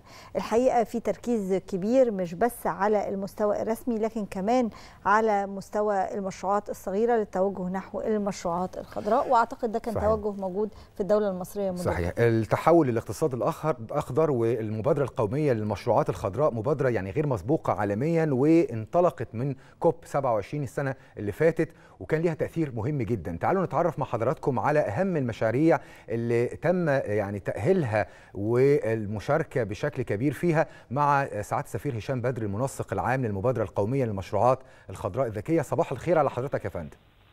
صباح صباح النور يا فندم على على حضرتك والمشاهدين. مبادرة غير مسبوقة عالميا انفردت بها مصر، حابين نتعرف من حضرتك على تفاصيل المرحلة الثانية من هذه المبادرة، المراحل اللي مرت بيها، إحنا عارفين إنه حوالي أكثر من 5600 مشروع تقدموا من كافة محافظات مصر بمشروعات خاصة بإدماج الأبعاد البيئية في خطط التنمية المستدامة، حابين نعرف تفاصيل المرحلة الثانية يا فندم. اولا أحب أشكر من خلالكم كل من تقدم بالمشروعات. يعني مش بس ال 18 اللي فازوا لكن لا السنة اللي فاتت تقدمت 6300 مشروع والدورة الثانية دي تقدمت زي ما سيادتك تفضلت ب 5600 مشروع. وإحنا بنعتبر إن كل دول فائزين. مش اللي قدموا مشروعات ثم اللي دخلوا في التصفية النهائية اللي هم حوالي 162 مشروع ثم اللي تم اختيارهم ال 18 مشروع السنة اللي فاتت والسنة دي. والسنة دي يوم 9 نوفمبر كان في مؤتمر حضره الدكتور مصطفى مدبولي رئيس مجلس الوزراء وتفقد المعرض اللي فيه 162 مشروع المؤهلين النهائيين. وكان في طبعا إعجاب من جميع الوزراء والمشاركين بال 162 مشروع من جميع المحافظات. وتم دعوة للمؤتمر ده الممولين والمستثمرين لأن الفكرة إيه؟ أنت بتطلع مشروعات والناس بتقدم مشروعات رائعة صحيح. غير مسبوقة فيها فكر ولازم حد يمولهم. وبالتالي انت بتعرض المشروعات دي اولا وطنيا. زي ما عرضناها يوم 9 نوفمبر. ثم وحضرها الدكتور مصطفى مدبولي الوزراء والمستثمرين والبنوك وهكذا. ثم تم اختيار 18 مشروع منهم فائزين أحسن مشروعات في مصر. ثلاث مشروعات خاصة بالمرأة. ثلاث مشروعات خاصة مشروعات صغيرة متوسطة مشروعات ناشئة ستارت ابس مشروعات كبيرة. وسم بيتم تمويلهم يتم إعطائهم جوائز مالية 750 ألف جنيه للفائز الفائزين و500 ألف جنيه للفائز الثاني وهكذا. وبعد تكريمهم الآن بتجري الاستعدادات وإحنا الحمد لله نجحنا بالاشتراك مع المؤسسات المالية الدولية والأمم المتحدة أن يتم استضافة ويتم عرض هذه المشروعات في كوب 28 في دبي دبي فال 18 مشروع حاليا إحنا بنأهلهم أكتر في بعد بكرة جلسة مع الأمم المتحدة برنامج التنمية عشان يقول للناس دي أنت عندك مشروع رائع بس إزاي تقدمه؟ إزاي تعرضه قدام الناس؟ إزاي هتعرضه قدام العالم؟ قدام العالم؟ أنت عندك فرصة دلوقتي زي السنة اللي فاتت لما عرضنا المشروعات ال 18 في شرم الشيخ والحمد لله تم تمويل كتير منهم وأصبحوا ناجحين السنة دي برضو الفترة الأسبوع ده سيتم تأهيل أكتر والأمم المتحدة تساعدهم ثم يروحوا ال 18 مشروع في دبي ليكون سفراء مصر زي ما حضرتك قلت قدام العالم. في 60 ألف واحد هيحضر في في دبي. يكون لهم فرصة إن كل واحد يشرع يعرض المشروع بتاعه ونحاول نجيب له تشبيك لنجيب له تمويل. وبالتالي يكبر ويبين قدام العالم قد إيه مصر مش بس ملتزمة بالاتفاقات اللي بتوقعوا إزاي إنها مصر بتجيب حلول مصرية، الحلول دي طالعة من الواقع المصري، حلول ما قدمتهاش الحكومة، حلول قدمها المواطنين صحيح. المصريين العاديين في ال 27 محافظة، وبالتالي إحنا فخورين بالعملية دي في الدورة الثانية فيها نجاح. وحضرتك بتعرض على الشاشة بتاعتك بعض المشروعات فعلا فائزة. زي المشروع اللي شايفينه ده محرك. بيتحط في أي عربية أو أي بيوفر في البنزين ويوفر في الطاقة. في ناس عملوا غابات من مياه الصرف الصحي بتستخدم في أخشاب تعمل بيبان وأخشاب ضد الحريق. في مشروعات في, أسوان المشروع الأول للمرأة إن هو بيعمل مسرعات للمشروعات النساء وعمل حوالي 34 ألف مشروع. فأي مرأة تقدم بالمشروع بتاعها صغير لكن هو بيروج لها وبالتالي مشروع تاني خاص بالدواء اللي أنت حاطه دلوقتي الدواء اللي هو الإكسبايرد انتهت صلاحيته إزاي إزاي ان هم بيتخلصوا منه بطريقة أمنة. كل دي مشروعات فيها شباب ومرأة مصرية أثبتت للعالم إن أنا مش بس بقدم أفكار لا أنا بقدم حاجة على الأرض بتدي حلول مصرية. وأهم حاجة إنها بتحول التحدي بتاع المشكلات المناخية إلى فرصة اقتصادية. صحيح. اعتقد أعتقد من أبرز المشروعات دي كان في مشروعات صغيرة ومشروعات متوسطة يمكن كان في معايير خاصة أهلتها للفوز. حضرتك ذكرت بعض هذه المشروعات لو تقول لنا المعايير اللي ساعدت على فوز هذه المشروعات. شوفي أهم حاجة إن هو تم تم السنة اللي فاتت كان في وعي وتدريب. والناس تشعر انها لما تقدم مشروعات وتتدرب عليها في في كرايتيريا في 23 حاجة لازم هم يلتزموا بيها على أساس يبقى المشروع اخضر وذكي. فالناس بنعرف يعني إيه مشروع اخضر يعني مشروع بيستخدم طاقة متجددة طاقة قليل طاقة شمسيه طاقة رياح بيقلل انبعاثات بيقدر يعيد استخدام المخلفات. في كتير من المشروعات فعلا شافت إن في المناخ بتاعها مخلفات كتيرة. أوكي. طب الله طب ما أنا أستخدم إزاي أعيد استخدام المخلفات دي وأعمل بيها فلوس؟ ذكي يعني إيه؟ يعني مجرد تكنولوجيا. يعني استخدام التكنولوجيا لأن هم دول الحاجات الاساسيه للمستقبل. التكنولوجيا وإعادة ال ال واستخدام التحديات المناخيه إلى فرصة. وكان الحاجة الرئيسية إن في الآخر إحنا بنساعده إن هو يكبر مشروعه من خلال شراكات. يعني أنت عليك تقدم المشروع وأنا علي أشبكك بمؤسسات صحيح. وطنية ودولية عشان تنجح.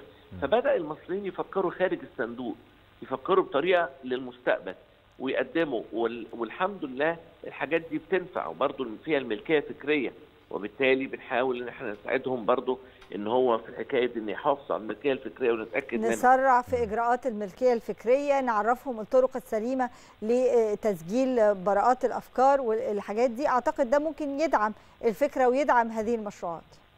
بالظبط وفي شراكات استراتيجيه يعني أساس أساس نجاح المشاركة أو حضرتك سالتي السؤال إيه أساس النجاح هو الشراكات الاستراتيجية مم. يعني ده داخل فيها الجميع داخل فيها المحافظات داخل فيها الشركات داخل فيها وزارة الشباب والرياضة داخل فيها الوزارات المعنية داخل فيها القطاع الخاص البنوك وبالتالي نجاح أي عمل جميل. إن يكون في شراكات استراتيجية فيوصل الإنسان العادي في المحليات مم. من الوادي الجديد يقدم مشروع يتم تقييمه وطنيا و... وثم ياخد جوائز مالية ثم يبدأ يعمل شراكات على مستوى عالمي. فبنديله الأداء إنه يتواصل من القرية بتاعته إلى أعلى مستوى في العالم. دي حاجة عظيمة جدا سعادة السفير. يعني من الجوانب الرائعة والمدهشة الحقيقة في هذه المبادرة إنه حق لكل شاب أو كل مصري في أي محافظة في أي قرية أو نجع أو أي مكان من الأماكن الموجودة على امتداد الجمهورية إنه يقدم مقترح أو فكرة أو مشروع في البعد البيئي وبيعتمد على طبعا الطاقة النظيفة والاقتصاد الأخضر. دي فكرة عظيمة جدا لرفع مستوى الوعي البيئي لدى أجيال من الشباب وأجيال من المصريين. مش بس رفع المستوى البيئي ودي حاجة مهمة جدا زي ما سيادتك تفضلت لأن هو هيكسب فلوس من وراها فيها استدامة. يعني هي لما تقول له أنا يقول لك أنا عندي مشاكل تحديات اقتصادية أقول له ما عشان أنت عندك التحديات دي إحنا بنحاول نساعدك إنك تحول ده إلى فرصة اقتصادية. واستدامة. ودي اللي بتشد الشباب وبتشد المرأة. وبقول له بص وإنه هيعمل مشروع من ورا الفكرة دي أو ورا المقترح ده مشروع فعلا يعني يبقى فيه عائد اقتصادي ليه. بالظبط بالظبط وده بيعملها وهو قاعد في بيته مم. على الإنترنت. مش بيضطر يروح المحافظة ويقدم ورق زي زمان. لا هو قاعد في بيته بيقدم بيفتح الإنترنت. يقول أنا اسمي كذا كذا من محافظ كذا كذا وعندي المشروع بتاعي في ثلاث أربع سطور ويملي ويقدمه. ثم في لجان بقى تقييمية على مستوى المحافظات والسنة دي عملنا تطور إن إحنا خدنا أحسن أكاديميين في مصر ادتنا وزارة التعليم العالي على أساس إن بعض المشروعات دي صعب هيدروجين أخضر هيدروجين أزرق فما يقدرش يقيمها حد عادي أو ممثلين وزارات عادية. فجبنا أكبر أساتذة جامعات مصر شاركوا معانا زائد خبراء بيئيين زائد خبراء من وزارة الاتصالات بحيث يكون هناك في لجان تقدر تبحث وتقيم وتقعد مع الناس دي وتسمع تسمعها لما تخش في المرحلة المؤهلة لها على أساس إن إحنا تقدر تساعدها في الآخر وتدي فرصة وتدي أمل وتدي تقول صورة للمستقبل بالنسبة لشباب مصر وبالنسبة لمشروعات مصر. طيب دكتور لو قارنا بين مشروعات السنة اللي فاتت والمشروعات اللي تقدمت السنة دي بعد لما بقى في خبرة أكتر وبعد ما بقى في وضوح أكتر في المعايير نقدر نقول إيه اللي اختلف في المشروعات اللي تقدمت السنة دي؟ ده ده سؤال رائع فعلا لأن أصبح هناك في نضج أكبر بكتير. السنة اللي فاتت أول سنة كنا إحنا مستضيفين الكوب 27 واتعملت شهرين لكن الناس برضو قدموا 6300 مشروع. السنة دي ادينا فرصة كبيرة للتدريب والتقييم. دربنا المدربين. مش كل محافظات مصر بنفس المستوى في الأداء وفي التقييم. وبالتالي عدينا وقت كتير إن إحنا ندرب الناس القائمين في المحافظات ونفس الوقت ندي عملنا تدريب في 20 جامعة وفي 20 محافظة للناس. إزاي تقدم مشروع؟ يعني هو بيقول لي هو أنا ما أعرفش أصلا أقدم مشروع. مش مشروع أخضر وذكي فدربناهم إزاي. وبالتالي والسنة اللي فاتت يعني ما دخلش المشروعات الثقيله دخلت مشروعات ثقيله جدا بس اللي هم الناس اللي كانوا عندهم مشروعات قوية وهكذا قالوا اما نشوف هيحصل إيه في الدورة الأولى. السنة دي ففي طبعا مشروعات السنة اللي فاتت برضه مشروعات قوية وكل حاجة لكن لاحظنا السنة دي فيها تفاصيل أكتر فيها عمق أكتر صح. فيها آه تمويل أكتر. فيها إنه قدر يعد المشروع لأنه يعني أخذ التدريب وسمع عن الفائزين السنة اللي فاتت ما هو السؤال اللي بيتسأل طب ال 18 اللي فازوا السنة اللي فاتت عملت بيهم إيه؟ مم. فلما يسمع إن في خمسة منهم اخذوا جوائز دولية صحيح. على مستوى العالم في أمريكا وسويسرا وفي ماليزيا وهكذا ولما يعرف إن أحد المشروعات بدأت ب 7 مليون دولار وفي سنة واحدة وصلت ل 340 مليون دولار ولما يسمع إن مشروع المرأة دربت 23000 وعملت شركة لما يسمع كل ده يقول الله لا طب ما أنا كمان أنا عايز أنا كمان صحيح. أخش. يبقى حافز ليه بشكل كبير. بالضبط. حوافز مهمة جدا حافز على الأرض. صحيح. إحنا بنشتغل من الناحية العملية على الأرض. ونتائج ملموسة مش شعارات مش نظريات. وإن شاء الله بإذن الله 18 اللي هيمثلونا ويكونوا خير سفراء كده لمصر في دبي كوب 28 إن شاء الله يعني يحوزوا على جوائز عالمية وتكريم كمان ومشاريعهم تنفذ على الأرض. بشكرك شكرا جزيلا سعادة السفير هشام بدر المنسق العام للمبادرة القومية للمشروعات الخضراء الذكيه مشاهدينا فقراتنا لسه مستمرة خلينا نروح لفاصل ونرجع نستكمل معاكم باقي حلقاتنا.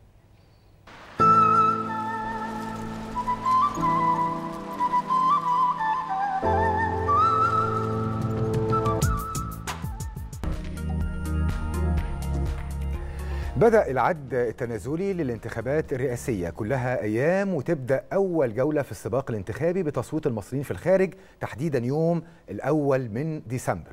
بعدها هنستكمل جولة أخرى بتصويت المصريين في كل محافظات مصر. حوالي 67 مليون ناخب مدعوون للانتخابات.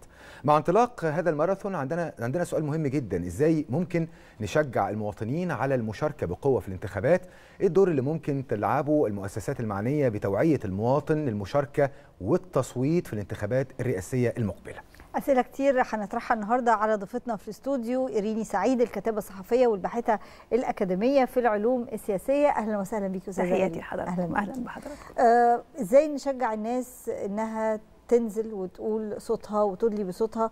وده حاجة ما خدناهاش بسهولة يعني قعدنا سنين بنحاول ندور على دور لينا. وأخيرا بعد ثورة 30 يونيو أعتقد إن ده بقى شيء متاح لينا جميعا. حق وأخدناه إزاي الناس تتنازل عنه؟ خليني بس مبدئيا أبدأ بالجزء الأخير من سؤال حضرتك وهو اللي هو لم ناخذ يعني قط قليل ولكن كان وقت كبير جدا أه لحد ما وصلنا لهذه المشاركة السياسية اللي بننتظرها من الجماهير المصرية. أه ربما أه المشاركة السياسية في حد ذاتها تعد يعني معيار مهم جدا على يعني قيمة الدول ومعيار مهم فيما يخص مدى ديمقراطية الدولة هل هذه الدولة ديمقراطية؟ هل بننعم بمناخ سياسي جيد؟ يظهر جيدا فيما يخص المشاركة السياسية. أما لو تراجعت المشاركة السياسية بالتالي لدينا جودة سياسية أو حياة سياسية ليست على ما يرام. أعتقد أنه مؤخرا وبعد الثورات اللي شهدناها في مصر بنلاقي أنه في مشاركة سياسية جيدة حتى أنه مصادر الإعلام كلها أو وسائل الإعلام تصدرت المشاركة السياسية ومش بس التوعية لكن تخطينا مرحلة التوعية لمرحلة الإشادة بهذه المشاركة السياسية. خليني أوضح أن المشاركة السياسية بتتم على مرحلتين ربما المرحلة الإجرائية وهي المتعارف عليها للمواطن العادي وهي أنه ينزل يصوت للانتخابات لمرشح بعينه ربما يشارك في حزب بعينه أو يشارك في مؤتمر سياسي أو منتدى سياسي. هذه هي المشاركة السياسية الإجرائية. إنه اتخذ إجراء من هنا أقدر أقول إنه هذا المواطن عنده حالة من المشاركة السياسية. لكنها في مفهومها الموجز ولكنه أيضا الأعمق وهو كيفية التأثير على صانع القرار. ربما إذا أردت أن تؤثر على صانع القرار لك أن تنزل في الانتخابات القادمة. ده اللي يعني بيكمن في أهمية أيضا المشاركة السياسية. لو جينا هنتكلم عن أهمية المشاركة السياسية نبدأ بالعكس إنه ليست فقط في إنك مشاركة تضامنية أو حتى كيف تكون ايجابيا لكن أيضا مجرد إنك لو تريد مطالب بعينها لو لديك حياة أو تنمية أفضل بالتالي يجب أن تنزل في الانتخابات القادمة أو أن يكون لك مشاركة سياسية بشكل أفضل. المشاركة السياسية ليست على مستوى المواطن العادي لكنها أيضا على مستوى المؤسسات. تمام. تبدأ من المؤسسات التنفيذية وحتى المؤسسات التشريعية. القضائية طبعا وهي مستقلة لها أيضا مشاركتها لكن كيف تصل هذه المشاركة إلى الإنسان أو المواطن العادي تأتي من خلال المؤسسات اللي ذكرناها تنفيذية وتشريعية وحتى الأحزاب والنقابات والمجتمع الأهلي والمدني؟ ده كان سؤال أستاذة إيريني. يعني إيه المطلوب من الكيانات السياسية والأحزاب السياسية لحث المواطنين على المشاركة ورفع مستوى أهمية المشاركة السياسية في استحقاق دستوري مهم للدولة؟ الأحزاب السياسية أقدر أقول إنها قاطرة الحياة السياسية. يعني أي أي دولة لديها حالة من التعددية الحزبية بالتالي هي على الطريق السليم. عندنا في مصر الأحزاب السياسية بعد 2013 كنا بنشهد حالة من السيولة الحزبية. هذه السيولة الحزبية بدأت إلى حد كبير تبقى يعني مصنفة ومبندة تحت بنود ما بين أحزاب يسارية وأحزاب آه وسطية وفي بعض الأحزاب اللي عندها آه الفكر معين أو ايديولوجيا معينة. لكن خليني أبدأ لو الأحزاب السياسية كيف توعي المواطن؟ بتبدأ هي أيضا من مستويين. آه ربما ما ساد عن الأحزاب السياسية فيما يخص كيفية توعية المواطن جاءت في إطار إنه الحملات. والتوعية بأهمية الانتخابات والتحرك في حملات دعائية وحملات ومبادرات لكن الأهم من كل هذه الأمور أن الأحزاب السياسية هي لها أن تسلك مسلك مهم جدا منذ نشأتها وحتى فيما يخص المسار الطبيعي لها وهي قائمة على توعية المواطن وكيفية تثقيف المواطن سياسيا. أرجع مرة تانية مع حضراتكم لما ذكرت إنه لازم يكون على مستويين. المستوى الداخلي داخل الحزب نفسه. كيف الحزب يوعي اعضائه أو كوادره؟ وكيف ينطلق إلى الرأي العام؟ لأنه ما نقدرش ننكر إنها أبرز موجهات الرأي العام. الأحزاب السياسية هي كفيلة بتوجيه الرأي العام لما فيه يعني التنمية السياسية. الحزب بالداخل له أيديولوجية له فكر له أيضا برامج وله توعية وله مبادرات مهمة جدا في داخل هذا الحزب. أيضا علشان يكون لدي مواطن يعني لديه حالة من الانتماء الوطني لابد أن نكون على دراية بايديولوجيه هذا الحزب أو الايديولوجي أو الفكر الخاص بهذا الحزب. كيف يفكر هذا الحزب؟ يعني هل هو يساري في تفكيره؟ هل هو متطرف في تفكيره؟ هل هو لديه أجندة معينة ليست وطنية؟ يعني يسعى إلى تحقيقها. بالتالي أن التوعية تبدأ من داخل. كيف يفكر أيضا هذا الحزب؟ وهل يؤتمن على كوادره؟ صحيح. بالتالي ده في الداخل. أيضا التنميه السياسية والتي تأتي أيضا من خلال الثقافة السياسية. كيف أيضا يعني يكون لدى أعضاء هذا الحزب أو كوادر هذا الحزب أو المواطنون والذين ينتمون إلى هذا الحزب أو ما يخرج إليهم الحزب من الرأي العام كيف يمدهم بالتنمية السياسية أو القدر السياسي المعقول والذي نحتاجه لأنه لدينا فرق أيضا بين الممتهن للعملية السياسية والممارس للعملية السياسية. كل شخص من حقه أن يمارس العملية السياسية. بالتالي ده حق يعني يغفر لنا الدستور والقانون لكل المواطنين لكل الفئات. اليوم حق التصويت. ده حقيقي. فهذا الحزب له أهمية في إنه كيف يؤثر على المواطن. في المشاركة السياسية بدأنا من المستوى الأهم وهو من الداخل. كيف ينميه سياسيا وكيف يوعيه سياسيا وكيف يكون لديه على الأقل القدر الأدنى من المعرفة السياسية. وده من خلال السياسات الحزبية الداخلية والفكر الحزبي والبرامج الحزبية وأيضا حملات التوعية والدعم السياسي أيضا والتوجيه. أيضا من الخارج أو خارج هذا الحزب للأحزاب مهمة يعني عالية جدا فيما يخص الحياة السياسية خصوصا في استحقاق كما نشاهده وهو التأثير على صناعة القرار. هي أيضا لها التأثير على صناعة القرار. فيما يخص قد يكون هذا الحزب من الحكومة. الأغلبية الخاصة بالأحزاب هي من تشكل الحكومات في النظم الديمقراطية. قد يكون من الحكومة. قد يكون هذا الحزب له أغلبية وتحالف في البرلمان. قد يكون أيضا هذا الحزب من المعارضة. في كلا الحالات أو في كافة هذه الحالات لهذا الحزب إمكانية التأثير على صانع القرار. إما من خلال الحزب الأغلبية الخاصة به أو من خلال الوزراء التنفيذيين الخاصين به أو من خلال أيضا كمعارضة من أجل الضغط. أيضا أهم صور أو استراتيجيات التأثير تأتي في صياغة القوانين. هو من يصيغ القوانين ويتقدم بها إلى المجالس التشريعية كما ذكرنا من خلال صوره أو نوافذه الموجودة في البرلمان إما وزراء معنيين أو حزب أغلبية مشكل داخل البرلمان. طيب كلها أيام وتبتدي جولة تصويت المصريين في الخارج. إزاي شايفة الجاليات تقدر تحث المواطنين على المشاركة بقوة في عملية التصويت؟ هي دي بتكون يعني ليست الجاليات لكن أيضا البعثات المصرية ربما المنتشرة حوالينا في أكثر من 127 دولة.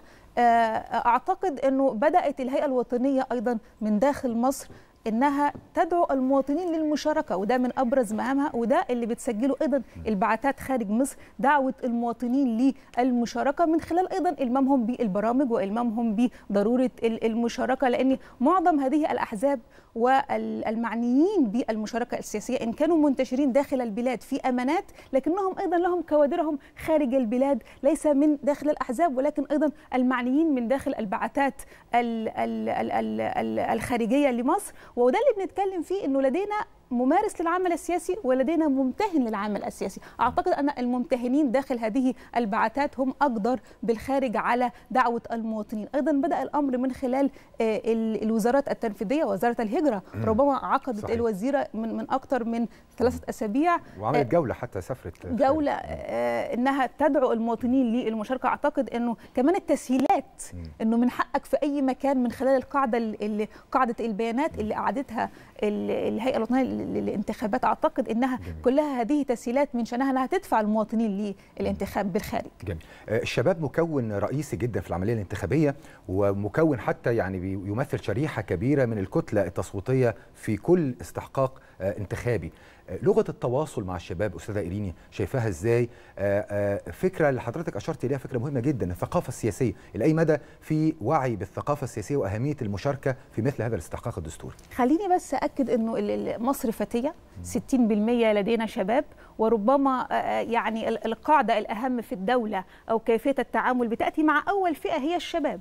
أعتقد إنه الدولة مش بس انتظرت الأحزاب من أجل الانفتاح على هؤلاء ولم تنتظر أيضا في مجرد القدر الكافي من المعرفة السياسية لكن لدينا أكثر من مؤسسة هي معنية بتنمية كوادر الكوادر الحزبية أو الكوادر السياسية من الشباب ويعني انتقاء العناصر الأكثر يعني كفاءة منهم فيما يخص ممارسة الحياة السياسية والتعويل عليهم فيما هو قادم. أعتقد أن عندي البرامج الرئاسية وعندي ال ال ال الأكاديمية الوطنية للتدريب. يعني لم ننتظر الأحزاب لأن الأحزاب قد تضم فئات عديدة ومن بينها الشباب لكن أن تخصص لهم هيئات وأكاديميات أعتقد إنك بتعول على شاب مؤهل اكاديميا فيما يخص التعامل مع الحياة السياسية وليس مجرد معرفة سياسية أو مجرد ثقافة سياسية. أعتقد إن كل هذه الأمور بتأتي أيضا في مجال تنمية الشباب وجعل الحياة السياسية أكثر يعني انفتاحا لديهم. وأعتقد إنه ربما كل هذه الأمور بيحكمها عاملين مهمين جدا. الأول وهو المناخ المناخ وليس السياسي فقط ولكن جودة هذه الحياة السياسية كما ذكرت في البداية. هل هي تتيح لهؤلاء؟ هل هي تؤمن بهؤلاء؟ هل هي أيضا تؤمن بضرورة إفساح المجال من أجل كوادر شبابية سياسية معدة تأهيليا وأكاديميا؟ هذه النقطة النقطة الأهم إن كانت تؤمن هل سخرت لهم القوانين؟ وأعتقد أن القوانين فيما يخص التأهيل الشباب سياسيا فتح الباب أمامهم في البرلمان وفي المحليات وزراء ونواب وزراء ونواب محافظين ربما صحيح. الحصص لديهم أو المحاصصة فيما يخص البرلمان تخطط من 15 ل 25% شباب وأعتقد إنها طفرة. أكيد المحفزات القوية اللي تستعين بها الأحزاب والكيانات السياسية لتشجيع الجميع بقى على المشاركة. ده اللي بنتكلم فيه واللي كنت بدأت بيه وقلت أهمية المشاركة السياسية. يعني نمر بظروف هي حرجة على كافة المستويات سواء داخلية أو خارجية. خلينا نأكد ونكون واقعيين إنه لدينا عوامل اقتصادية أو أوضاع اقتصادية ليست مقبولة بالشكل إيه رغم التحركات الأجهزة التنفيذية ورغم المناشدات إلا إنه لازالت الأوضاع الاقتصادية محتاجة بعض التحرك ومحتاجة بعض التكاتف. آه هذا عامل يحتاج منا. أن أن نتحرك. إن كنا يعني نحتاج لي أو نطلب تنمية سياسية أو تنمية على كافة المستويات اقتصادية ومجتمعية. بالتالي أعتقد إن الحافز الأهم فيما يخص ضرورة النزول للإدلاء بالأصوات هو تغيير الأوضاع. وهو تكملة ما بدأه السابقين أو المتاحين. والبناء على ما تم يعني ويعني حققناه البناء عليه. فبالتالي أعتقد أن مجرد التذكرة بضرورة تغيير الأوضاع أو البناء على ما هو قائم يحتاج منا النزول صحيح أن ما يشاع عن المشاركة السياسية فيما يخص ضرورة أنها مشاركة تضامنية ومشاركة إيجابية. إن كنت تريد أن تكون إيجابي أو أو تعزيز الولاء الوطني لديك. كل هذه المحفزات المعنوية والنفسية هي رائعة. لكن يبدأ أيضا المحفز الأكثر فاعلية صحيح. وهو التركيز إن نحتاج للتغيير ونحتاج للبناء على ما هو موجود بشكرك شكرا جزيلا أستاذة إيريني سعيد الكاتبة الصحفية والباحثة الأكاديمية في العلوم السياسية. صباح الخير على حضرتك. صباح الخير على حضراتكم. بشكركم شكرا جزيلا. مشاهدينا الساعة دلوقتي 9 معادنا مع موجز لأهم الأنباء مع دينا اتفضلي يا دينا. شكرا لك من التاسعة صباحا بتوقيت القاهرة السابعة بتوقيت جرينتش موجز الأخبار من التلفزيون المصري. أهلا بكم.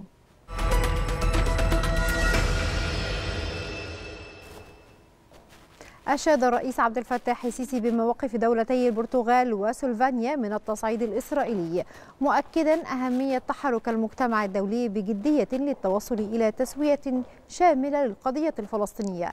جاء ذلك خلال استقبال الرئيس السيسي تانيا فاغون نائبة رئيس الوزراء ووزيرة خارجية سلفانيا وجواو كرافينيو وزيرة وزير خارجية البرتغال وأوضح المتحدث باسم رئاسة الجمهورية أن الرئيس السيسي أكد أهمية الاعتراف بالدولة الفلسطينية المستقلة على حدود الرابع من يونيو عام 1967 وعاصمتها القدس الشرقية على نحو يحقق العدل ويضمن الأمن والاستقرار الدائمين في المنطقة. وذلك لجميع شعوبها. وأضاف متحدث الرئاسة أن الجانبين السلفاني والبرتغالي رحبا بالهدنة الإنسانية المعلنة بقطاع غزة مثمنين الدور المصري القيادي بالإضافة إلى دور مصر المقدر في إجلاء الرعايا الأجانب من القطاع. خرجت الدفعة الثانية من الأسرى الفلسطينيين المفرج عنهم من سجون الاحتلال الإسرائيلي من سجن عوفر وذلك بموجب صفقة تبادل المحتجزين مع حركة حماس. وكان المتحدث باسم جيش الاحتلال قد أعلن وصول الدفعة الثانية من المحتجزين الإسرائيليين المفرج عنهم وعددهم 13 إسرائيليا إضافة إلى أربعة تايلانديين.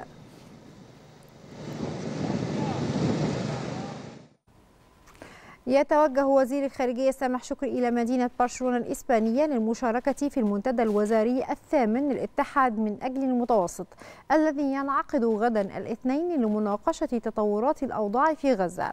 كما يتوجه شكري يوم الثلاثاء المقبل إلى نيويورك للمشاركة مع باقي أعضاء اللجنة الوزارية في جلسة الإحاطة. التي يعقدها مجلس الأمن بشأن الشرق الأوسط وذلك لاستعراض الموقف العربي والإسلامي الداعي إلى وقف الحرب في القطاع. تظاهر آلاف الأشخاص بالأعلام الفلسطينية أمام مبنى البرلمان الكندي في أوتاوا مطالبين بوقف دائم لإطلاق النار في قطاع غزة. وجاءت التظاهرة إثر إطلاق عريضة إلكترونية تم تقديمها إلى المشرعين الجمعة بعد جمعها 286719 توقيعا لحث رئيس الوزراء جاستن ترودو على الضغط من أجل وقف دائم لإطلاق النار في غزة. وضمت التظاهرة أطيافا متنوعة من المشاركين بين منظمات فلسطينية وعربية ومسلمة ويهودية ومناهضة للحرب وعمالية ومنظمات عدالة اجتماعية.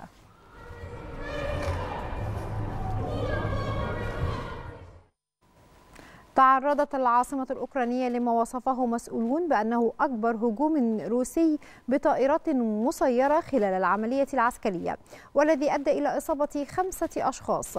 وبدأ الهجوم بضرب مناطق مختلفة في كييف في الساعات الأولى من صباح اليوم مع توالي المزيد من الضربات مع شروق الشمس.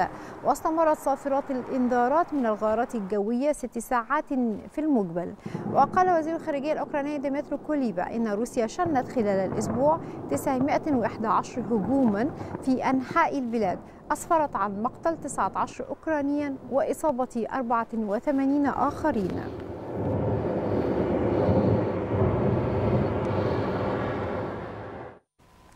قال الرئيس الأوكراني فلاديمير زيلينسكي إن بلاده بحاجة لمزيد من الدفاعات الجوية لحماية طرق تصدير الحبوب والمناطق المتاخمة لروسيا. وأضاف زيلينسكي في كلمة أمام قمة دولية حول الأمن الغذائي في كييف أن هناك عجزا في الدفاع الجوي ببلاده مشيرا إلى أن الأمر ليس سرا. وأشار زيلينسكي إلى أن الشركاء الأجانب سيزودون كييف بسفن لمرافقة قوافل سفن الشحن من الموانئ الأوكرانية لضمان أمنها. ورياضيا استهل الأهلي مشواره في دور المجموعات لدوري أبطال إفريقيا لكرة القدم بالفوز على ضيفه فريق ميدياما الغاني بثلاثة أهداف دون رد في المباراة التي جمعتهما على ملعب السلام. وسجل ثلاثية الأهلي كل من محمود كهربا وحسين الشحات وصلاح محسن ليحقق حامل اللقب الانتصار الأول في دور المجموعات. ويتصدر ترتيب المجموعة الرابعة بالتساوي مع فريق شباب بلوزداد الجزائري. فيما تذيل ميدياما الغاني ترتيب المجموعة رفقة يانج أفريكانز التنزاني بدون رصيد من النقاط. ختام موجز التاسعة. فاصل ونعود لحضراتكم باستكمال باقي فقرات صباح الخير يا مصر.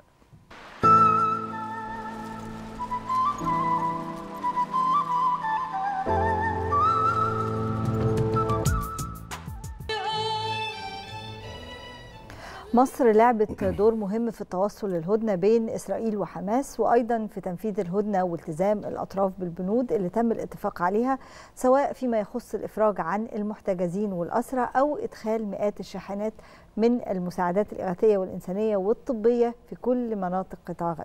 صحيح منا خلونا نتكلم مع حضراتكم عن دور مصر المحوري في احتواء التصعيد داخل قطاع غزة وتنفيذ الهدنة مع ضيفنا الكريم النائب أحمد مقلد عضو مجلس النواب عن تنسيقية شباب الأحزاب والسياسيين اللي منورنا في استوديو صباح الخير يا مصر. صباح الخير على حضرتك. صباح الفل على حضرتك. يعني بداية نتكلم عن الدور المصري في سريان وإنفاذ هذه الهدنة. وصولا إلى الأمس المرحلة الثانية من التبادل الأسرى مع الجانب الإسرائيلي يعني كان يبدو لحظات حرجة وصعبة جدا تأخير التسليم مشاعر إنه ممكن أو مخاوف إنه ممكن الهدنة يحصل لها يعني يعني أي خروق خروقات يعني وتتعطل في اللحظة الأخيرة تدخلت الجهود المصرية لإحتواء الموقف وإنقاذه.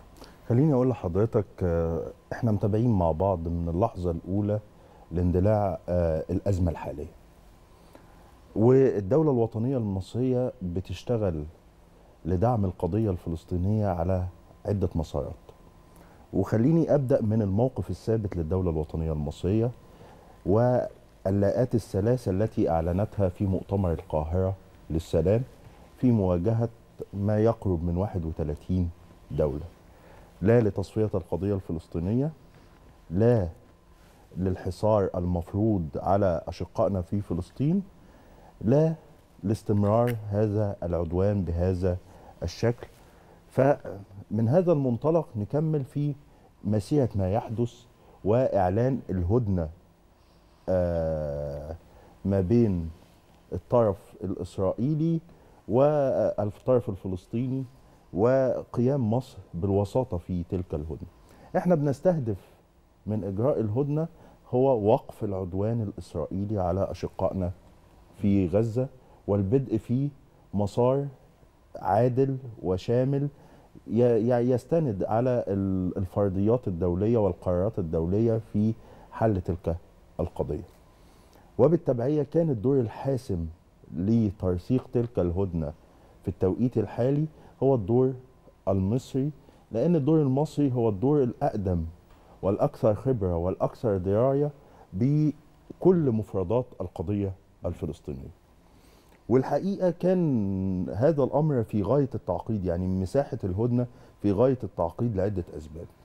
السبب الأول أن الحكومة الإسرائيلية هي حكومة يمينية. صحيح.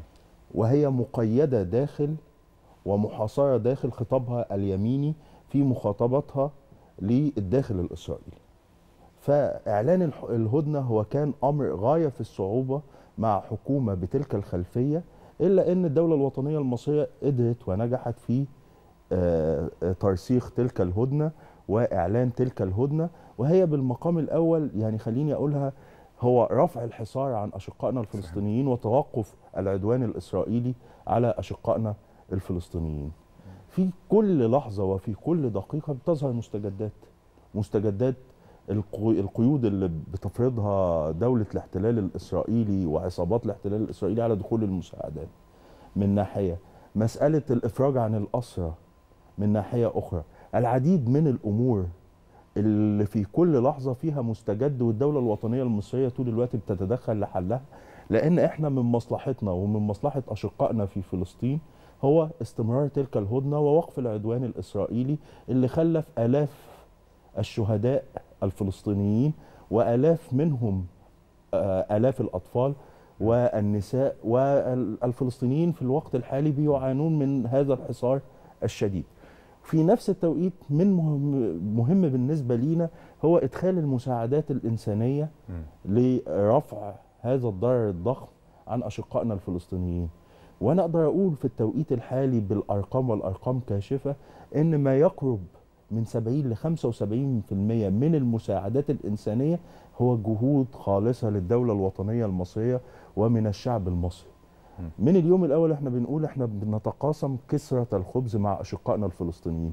فالدولة الوطنية بتحمل هم القضية في إدخال المساعدات الإنسانية لأشقائنا الفلسطينيين في تمديد الهدنة لوقف العدوان الإسرائيلي الغاشم عن أشقائنا الفلسطينيين للدخول إلى الوصول والدخول والوصول إلى الحل الذي نرتضيه وكان في محاولات للالتفاف حوله وهو إعلان دولة فلسطينية ذات سيادة كاملة على حدود 4 يونيو سنة 1967 إحنا شايفين هدوء حذر في اليوم الثاني للهدنة. تتوقع إنه يتم الاستمرار في الأجواء الحذرة ويتم يعني وجود هدنة ثانية قريبا؟ في أجواء حذرة طول الوقت لأن الإسرائيليين من طبعهم المماطلة. يعني ده ده ده بشكل واضح. وجزء من العراقيل اللي بيحاولوا يفرضوها هم بيحاولوا بقدر الإمكان إنهاء الهدنة في أسرع وقت لأنهم الحقيقة كانوا عايزين يحققوا أمور على الأرض ما قدروش يحققوها. يعني مسألة تصفية القضية الفلسطينية التهجير القسري للأشقاء الفلسطينيين الدولة الوطنية المصرية قدرت تجهد هذا المخطط. فهو كان بيستخدم فكرة العمليات المستمرة لإجبار الفلسطينيين على التهجير القسري من قطاع غزة إلى وده كان واضح إلى سيناء وده كان واضح لينا من اللحظة الأولى لأن كان المسار هو التهجير من الشمال للجنوب وبالتبعية صحيح. من الجنوب الجنوب يمثل حدودنا الشرقية. صحيح. فبالتبعية أنت لما تيجي تنظر إلى هذا المسألة بهذا الشكل إحنا كنا واعيين لهذا الأمر. والنهاردة هو وقته بيستنز يعني بيتم استنزاف لوقته لأن المجتمع الدولي ما بقاش بنفس قوة الدعم بسبب المجازر اللي ارتكبها ارتكبتها قوات الاحتلال الإسرائيلي والعصابات الصهيونية خلال الفترة الماضية. وأنا بقول بشكل واضح أن الإسرائيليين في وق في, في الوقت الحالي لديهم أزمة ضخمة لأنهم لم يحققوا أي أمر من الأمور اللي استهدفوها على أرض الواقع وده يعني ليس كوني مصريا.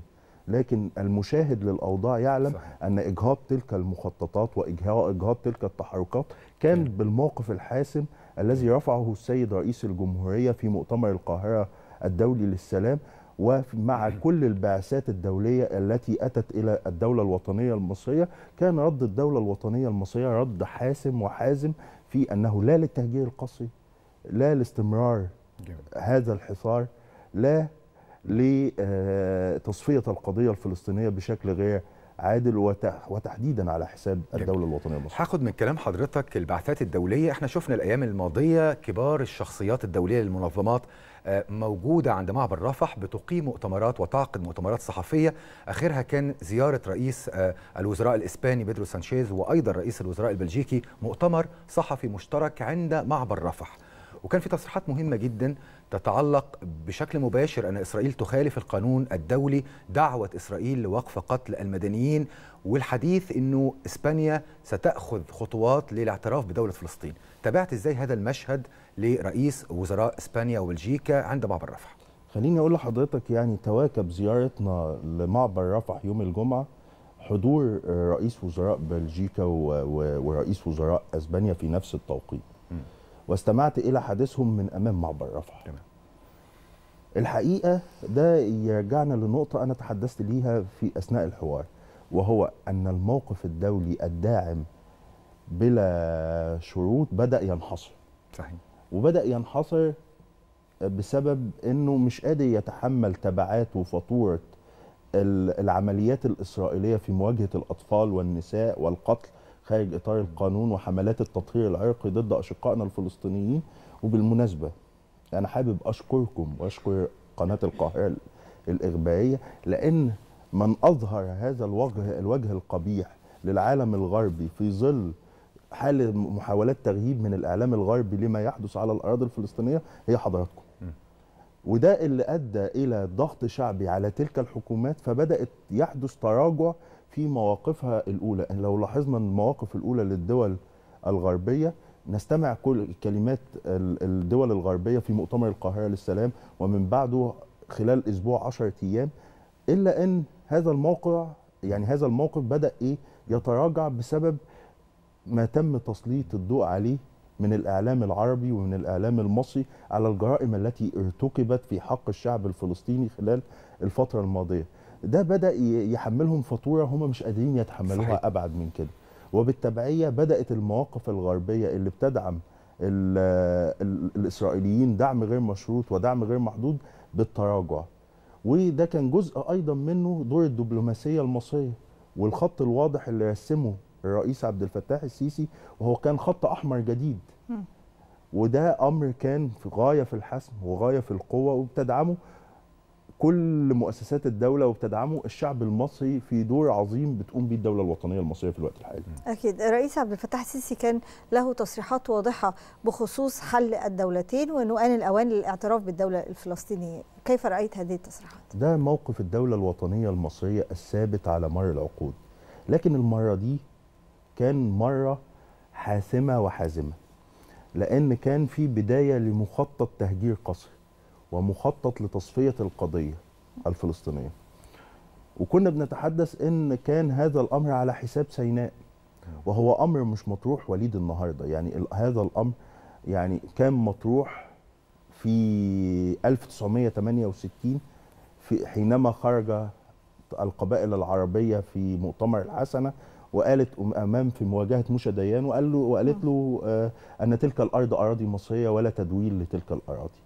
بعد هذا الموقف بدأ يخشوا الإسرائيليين في سيناريو آخر وهو تهجير أشقائنا في غزة إلى الجنوب إلى آه إلى سيناء. م.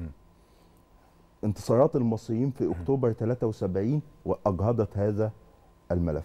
وفي أكتوبر 2023 تجدد هذا الحلم إلا إن موقف الدولة الوطنية المصرية بقيادة الرئيس عبد الفتاح السيسي بهذا الحسم وبهذا الحزم ورفضنا لكل الضغوطات والإغراءات التي عرضت لتنفيذ هذا المخطط أجهض الحلم الإسرائيلي مرة أخرى في تهجير أشقائنا الفلسطينيين إلى سيناء بالمناسبة كل تهجير من شبر داخل الأراضي العربية المحتلة في فلسطين هو احتلال صحيح. طبعا. جديد فموقف الدولة الوطنية المصرية يعتبر انتصار جديد ضد مخطط بيتم العمل عليه على مدار سنوات واللي يعرف كويس قوي ويدرس الجانب الإسرائيلي مسألة الزمن بالنسبة لهم هو كسب وقت.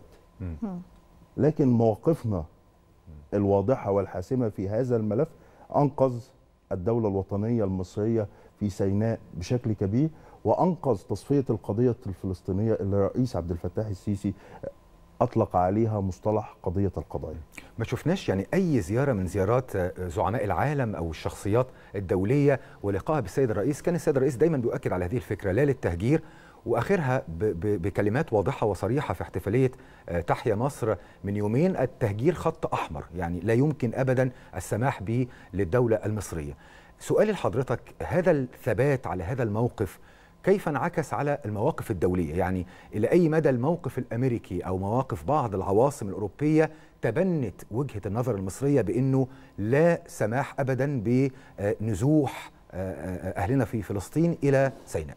الدولة الوطنية المصرية قامت بالدور الحاسم في وقف هذا المخطط ويعني ونشوف تسلسل خطاب الدولة الوطنية المصرية وخطاب الرئيس عبد الفتاح السيسي في هذا الأمر. نكتشف هو من اللحظة الأولى هو رافض لهذا الأمر. وحتى يعني لما قال له قال لهم لو حابين صحراء النقب. لو حابين تروحوا عندكم صحراء النقب. ودي كان كلمة قمة في العمل الجيوسياسي. لأنه وضع اطروحات بديلة لأن العالم الغربي بيجي له المعلومات وهو مش بيبص على خرائط. فلو أنت حابب توديه مكان صحراء النقب وإسرائيل استحالة تعمل هذا الأمر. ثم إعلانها في مواجهة العالم كله أنه لا للتهجير القسري ثم الإقرار بأن هذا الأمر خط أحمر بالنسبة للدولة الوطنية المصرية وهو ثاني خط أحمر تم ترسيمه بعد خط آه جفر سرت جفر سرت, سرت. تمام؟ وخد بال حضرتك آه يعني كانوا بيراهنوا على إن الدولة الوطنية المصرية في ظل الأزمات في دول الجوار قد يلين موقفها في هذا الأمر. يعني لأول مرة الدولة الوطنية المصرية تكون لديها أزمات في حدودها الاربع صحيح. الجبهة الغربية فيها مشكلة الجبهة الجنوبية. فيها مشكلة. الجبهة الشمالية فيها إشكاليات. الجبهة الغربية فيها أيضا مشاكل. فبالتبعية مصر بتواجه كل تلك المشاكل. ده, ده بيمثل تحدي وضغوط على صانع القرار تحدي المصري تحدي في لحظة دقيقة تاريخيا تحدي يعني. لم تشهده الدولة الوطنية المصرية. يعني اقرأوا التاريخ. نكتشف إن طول الوقت بيبقى فيه تحدي في جبهة حدودية أو في دي دولة جوار لكن التحدي في كل تلك المسارات في هذا التوقيت ده مؤداه الطبيعي إن أنت في موقف بيمثل قوة وقدرة الدولة الوطنية المصرية الشاملة. ودي القوة الشاملة للدولة الوطنية المصرية اللي تحدث عنها الرئيس من سنوات وإزاي النهاردة بتتخذ وفقا ليها المواقف الحاسمة في هذا الأمر. أكيد. خلينا نتحول لزميلنا كريم بيبرس من أمام معبر رفح ونتابع معاه آخر التطورات الخاصة بدخول المساعدات الإغاثية والطبية لقطاع غزة عبر معبر رفح. إليك كريم صباح الخير عليك. صباح الخير يا محمد. صباح الخير على كل مشاهدي صباح الخير يا مصر. فعلا في سريان اليوم الثالث من الهدنة اللي تم إبرامها بالفعل بجهود مصرية دبلوماسية قوية جدا وشراكة قطرية والولايات المتحدة الأمريكية. الحقيقة النهاردة ثالث يوم وما زالت الشاحنات يمكن من ورايا دلوقتي وأنا بتكلم معاكم لسه ما زالت بتستمر في الدخول عبر بوابة معبر رفح المصرية. خلينا أقول لكم إنه الحقيقة ان بوابة معبر رفح المصرية لم تغلق من قبل وكان ما زالت الشاحنات بتبقى واقفه أمام المعبر كانت دايما متواجده إما في العريش أو في الشيخ زويد أو في رفح مكان ما أنا موجود دلوقتي قدام البوابة بالظبط. لكن طبعا بعد الهدنة والاتفاق اللي كان بيتكلم على 200 عربية أو 200 شاحنة في اليوم الحقيقة إن بيخش عبر معبر رفح أكتر من 200 شاحنة لأن قوات الاحتلال مش بس بتعرقل دخول الشاحنات دي لقطاع غزة لكن كمان في بعض الأحيان بترجع شاحنات كاملة لأن هي قررت إن هي مش مناسبة من وجهة نظر عشان كده الشاحنات بتفضل مستمرة طول الوقت. لكن كمان الشاحنات دي مش بس مواد غذائية وإغاثية ومستلزمات طبية دي اللي بتتحرك بالفعل من ورايا دلوقتي لكن كمان في الشاحنات الخاصة بالوقود وتحديدا السولار والغاز. امبارح أول امبارح هي أول يوم دخل سبع شاحنات للغاز وللسولار. امبارح برضو سبع شاحنات للغاز والسولار دخل 14 شاحنة. ودلوقتي وأنا بتكلم معاكم كمان حقيقه السولار برضو متوقفة منتظرة دورها إن هي تعدي للناحية التانية. بنتكلم على 14 شاحنة وفي حواليا دلوقتي ست شاحنات بالفعل منتظرة دورها إن هي تعبر الناحية التانية. لكن كمان الهدنة مش بس بتقتصر على دخول الشاحنات والوقود والغاز لكن كمان جزء منها هي تبادل صفقة الأسرى يمكن أول يوم تمت الصفقة بسهولة ويسر وطبعا تم التبادل في الميعاد المتفق عليه. لكن امبارح هي قوات الاحتلال زي ما بتعرقل دخول الشاحنات وتوقف دخول المساعدات. كمان كانت حاولت ان هي توقف صفقة تبادل الأسرى امبارح وأخرتها جدا وتعللت إنه دي لأسباب فنية من وجهة نظرهم. فضلوا معطلين الموضوع ده يمكن لحد 9 أو 10 بالليل. وكمان ردت عليها الفصائل الفلسطينية وتحديدا حماس وقالت إن هي كمان هتوقف يعني إخراج المحتجزين أو الأسرى اللي لديها لحد لما قوات الإحتلال تلتزم بالاتفاق المبرم وهو إن هو يخرجوا من سجون الاحتلال. الناس اللي بقى لها كتير جدا في السجون أو بالاقدميه الأقدم هو ليه أحقية في الخروج. وخلينا نتأكد نأكد على إنه اللي بيخرجوا كلهم إما نساء أو أطفال تحت 19 سنة كل دول كانوا داخل سجون الاحتلال. كمان وأنا بتكلم معاكم دلوقتي الحقيقة يمكن عدد كبير جدا من الشاحنات بيعدي بالفعل. بنتكلم كمان على إنه إحنا قدام بوابة معبر رفح المصرية بالظبط لكن البوابة مقسومة لناحيتين الناحية اللي بتعدي على طول ناحية من معبر رفح المصري ومعبر رفح الفلسطيني مسافة تقريبا 500 أو 600 متر. لكن كمان عشان العربيات دي تخش بتخش في مدخل تاني على جانب المعبر بتخش منه يمين بتتحرك حوالي 45 كيلو لحد معبر العوجه بيتم تفتيشها من قبل قوات الاحتلال بتاخد تقريبا من 12 ساعة لمدة يوم كامل بتتفتش. بعد كده بترجع تاني 45 كيلو تاني لحد معبر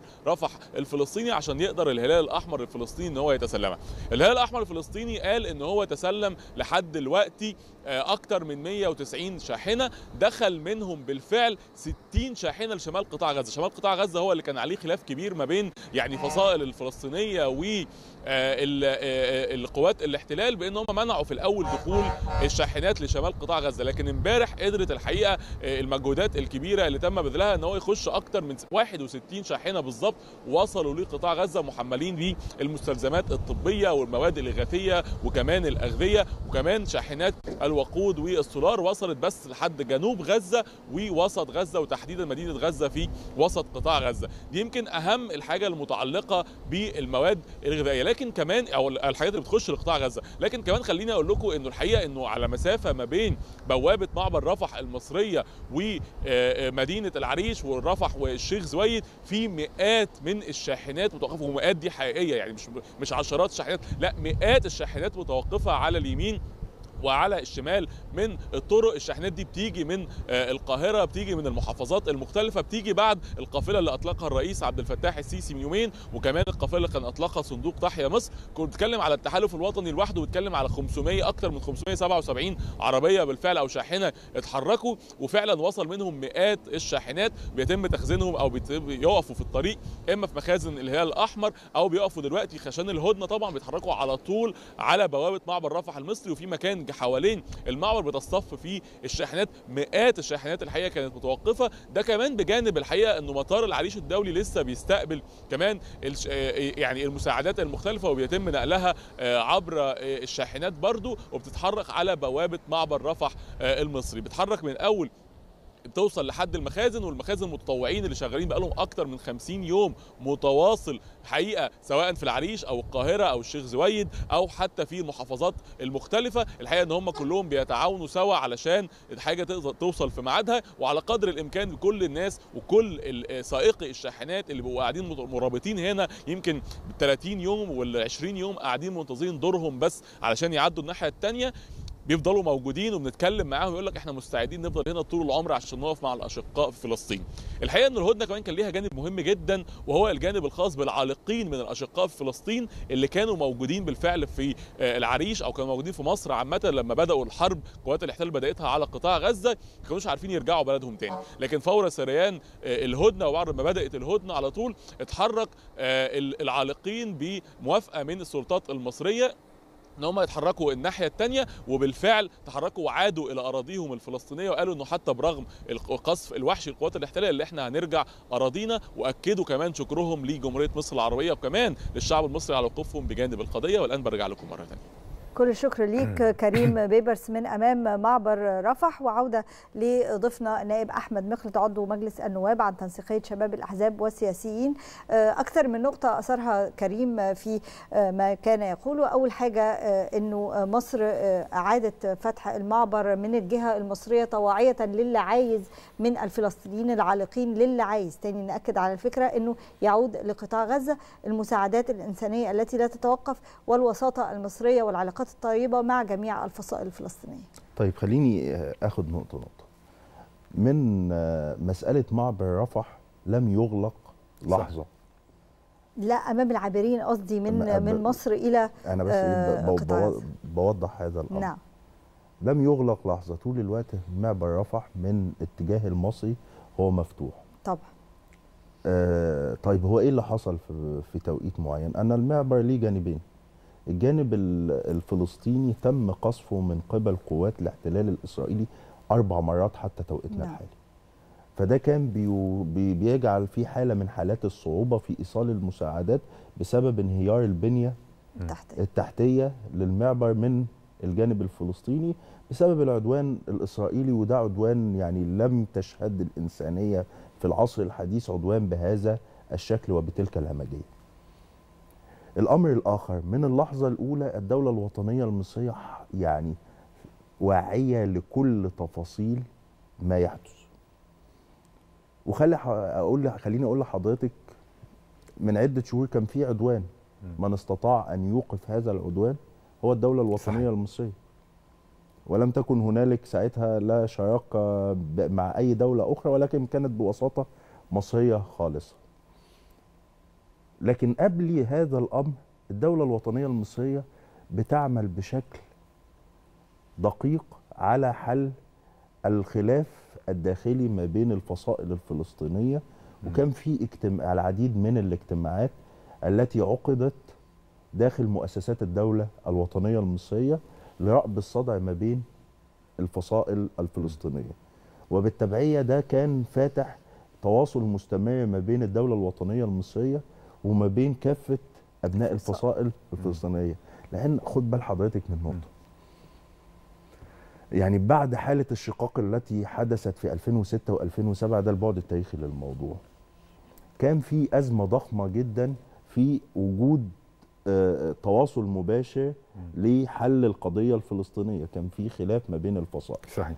بالتبعية الدولة المصرية تدخلت في هذا الأمر وعلى علاقة جيدة وطيبة بكل الفصائل الفلسطينية لتوحيد الجهود الفلسطينية وإعادة إحياء منظمة التحرير الفلسطينية وصولا للحل التي أكدت عليه مرة أخرى في بداية الأزمة إعلان دولة فلسطينية ذات سيادة كاملة على حدود 4 يونيو سنة 1967 وتوحيد الصف الفلسطيني وإحياء منظمة التحرير وده تاريخيا يعني بعد الانقسامات اللي حصلت داخل البيت الفلسطيني كان عين مصر دايما على فكرة توحيد توحيد الجهود. الجهود تحديدا وما بقاش في أي صراع ما بين الضفة جدا من الدولة الوطنية المصرية. صحيح. أشكرك شكرا جزيلا. دايما بتشرفنا النائب أحمد مقلد عضو مجلس النواب عن تنسيقية شباب الأحزاب والسياسيين. شكرا جزيلا. شكرا صباح الخير لحضرتك. هنروح مع حضراتكم لفاصل سريع ونرجع من بعده للفقرة الأخيرة اللي معانا. في صباح الخير يا مصر خليكم دايما معانا.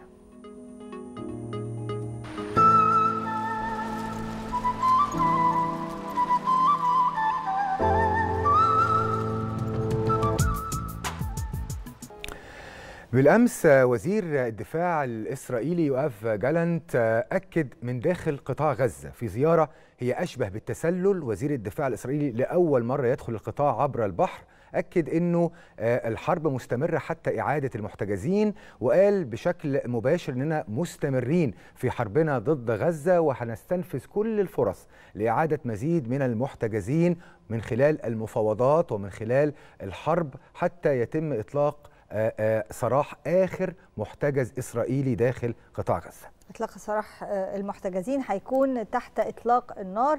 خلينا ناخد قراءة لهذه التصريحات والسيناريوهات القادمة في غزة. من السفير رخا أحمد حسن مساعد وزير الخارجية الأسبق. سعادة السفير صباح الخير على حضرتك. أهلا منا صباح الخير لك والسادة المشاهدين. أهلا. سعادة السفير ماذا يقصد وزير الدفاع الإسرائيلي من أن قواته لن تترك غزة حتى إعادة المحتجزين؟ يعني هو بيحاول إن هو يتراجع بطريقة برضو فيها شيء من الغطرسة. لأن من البداية اعلنت إسرائيل طبعا رئيس الوزراء نتنياهو وزير الدفاع جالانت إعلنوا إن هم سيستردون الاسرى والرهائن بالقوة وإن لا تفاوض على استرداد الرهائن.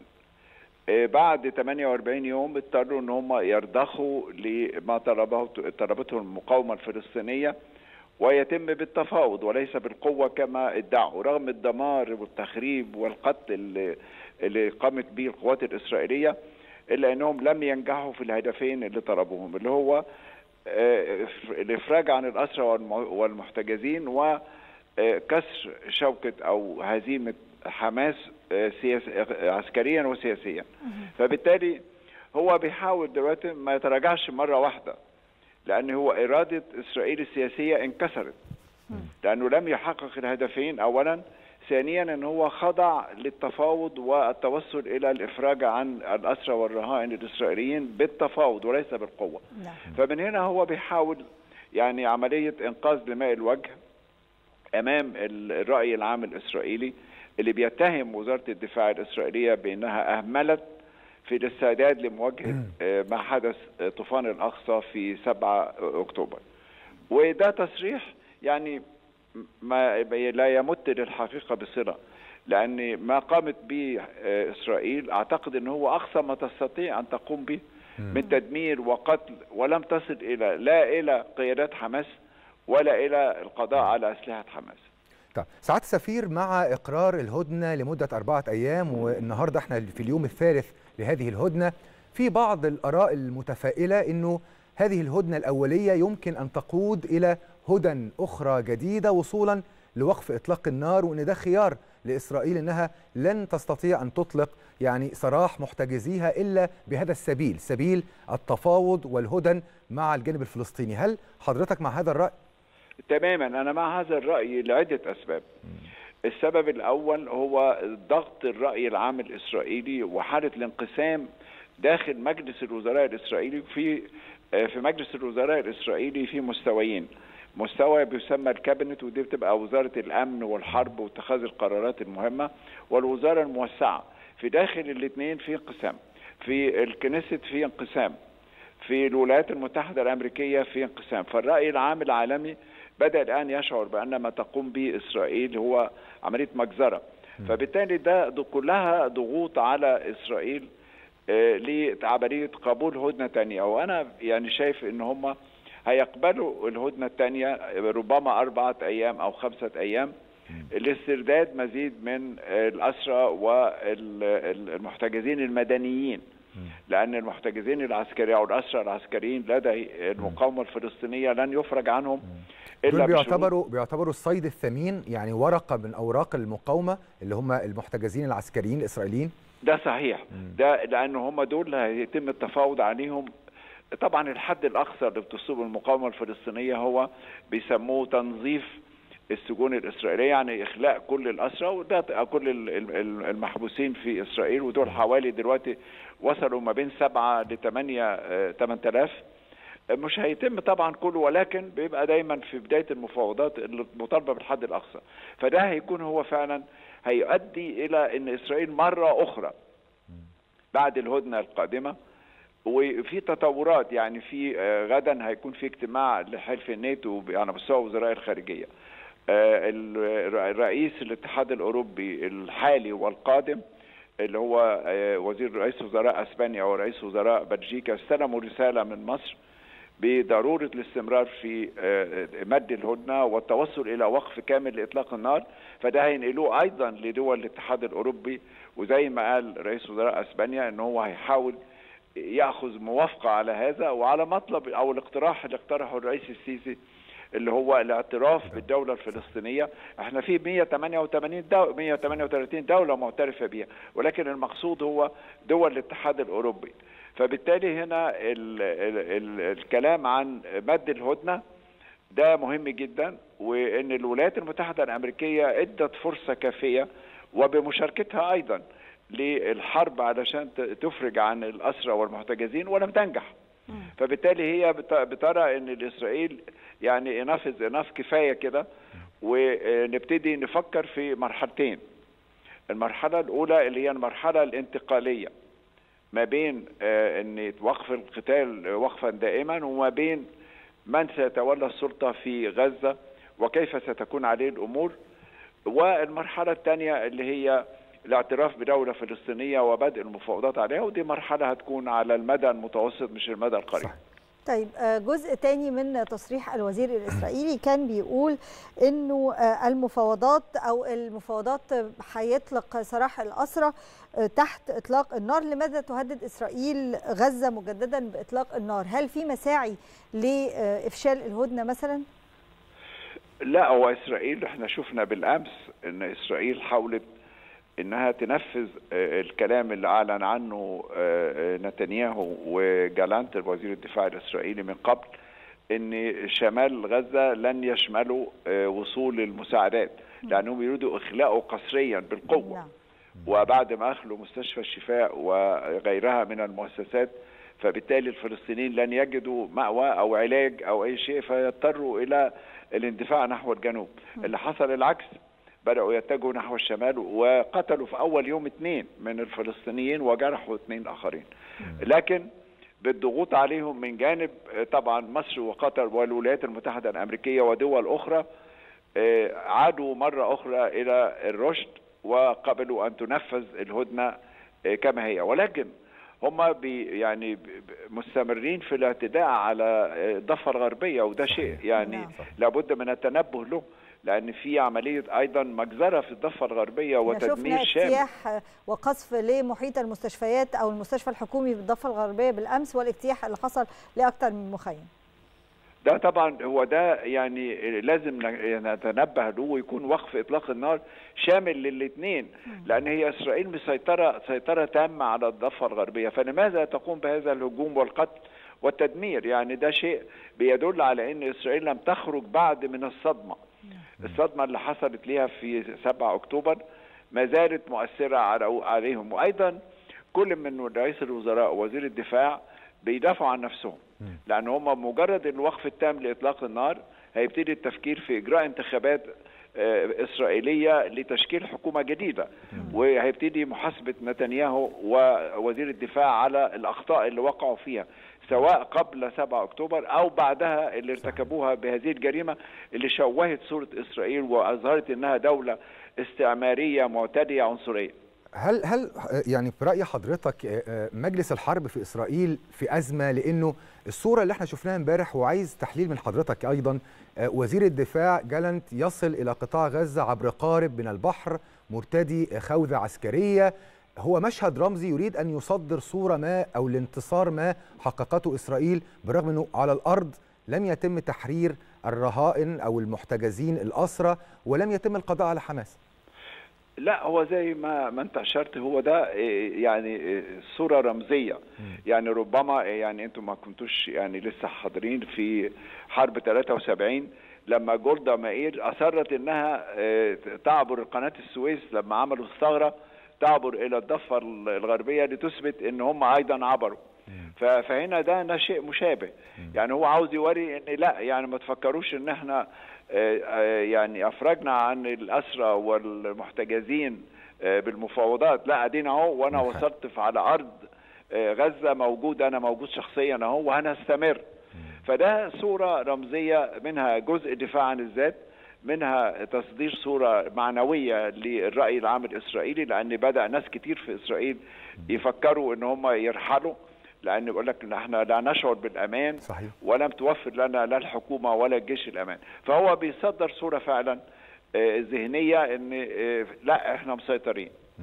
أشكرك شكرا جزيلا. سعادة السفير رخا أحمد حسن مساعد وزير الخارجية الأسبق وصباح الخير على حضرتك. مشاهدينا خلصت حلقتنا النهارده. كنا موجودين معاكم على مدار ثلاث ساعات. نشوفكم بكرة إن شاء الله في نفس الميعاد. صباح الخير عليكم وصباح الخير يا مصر.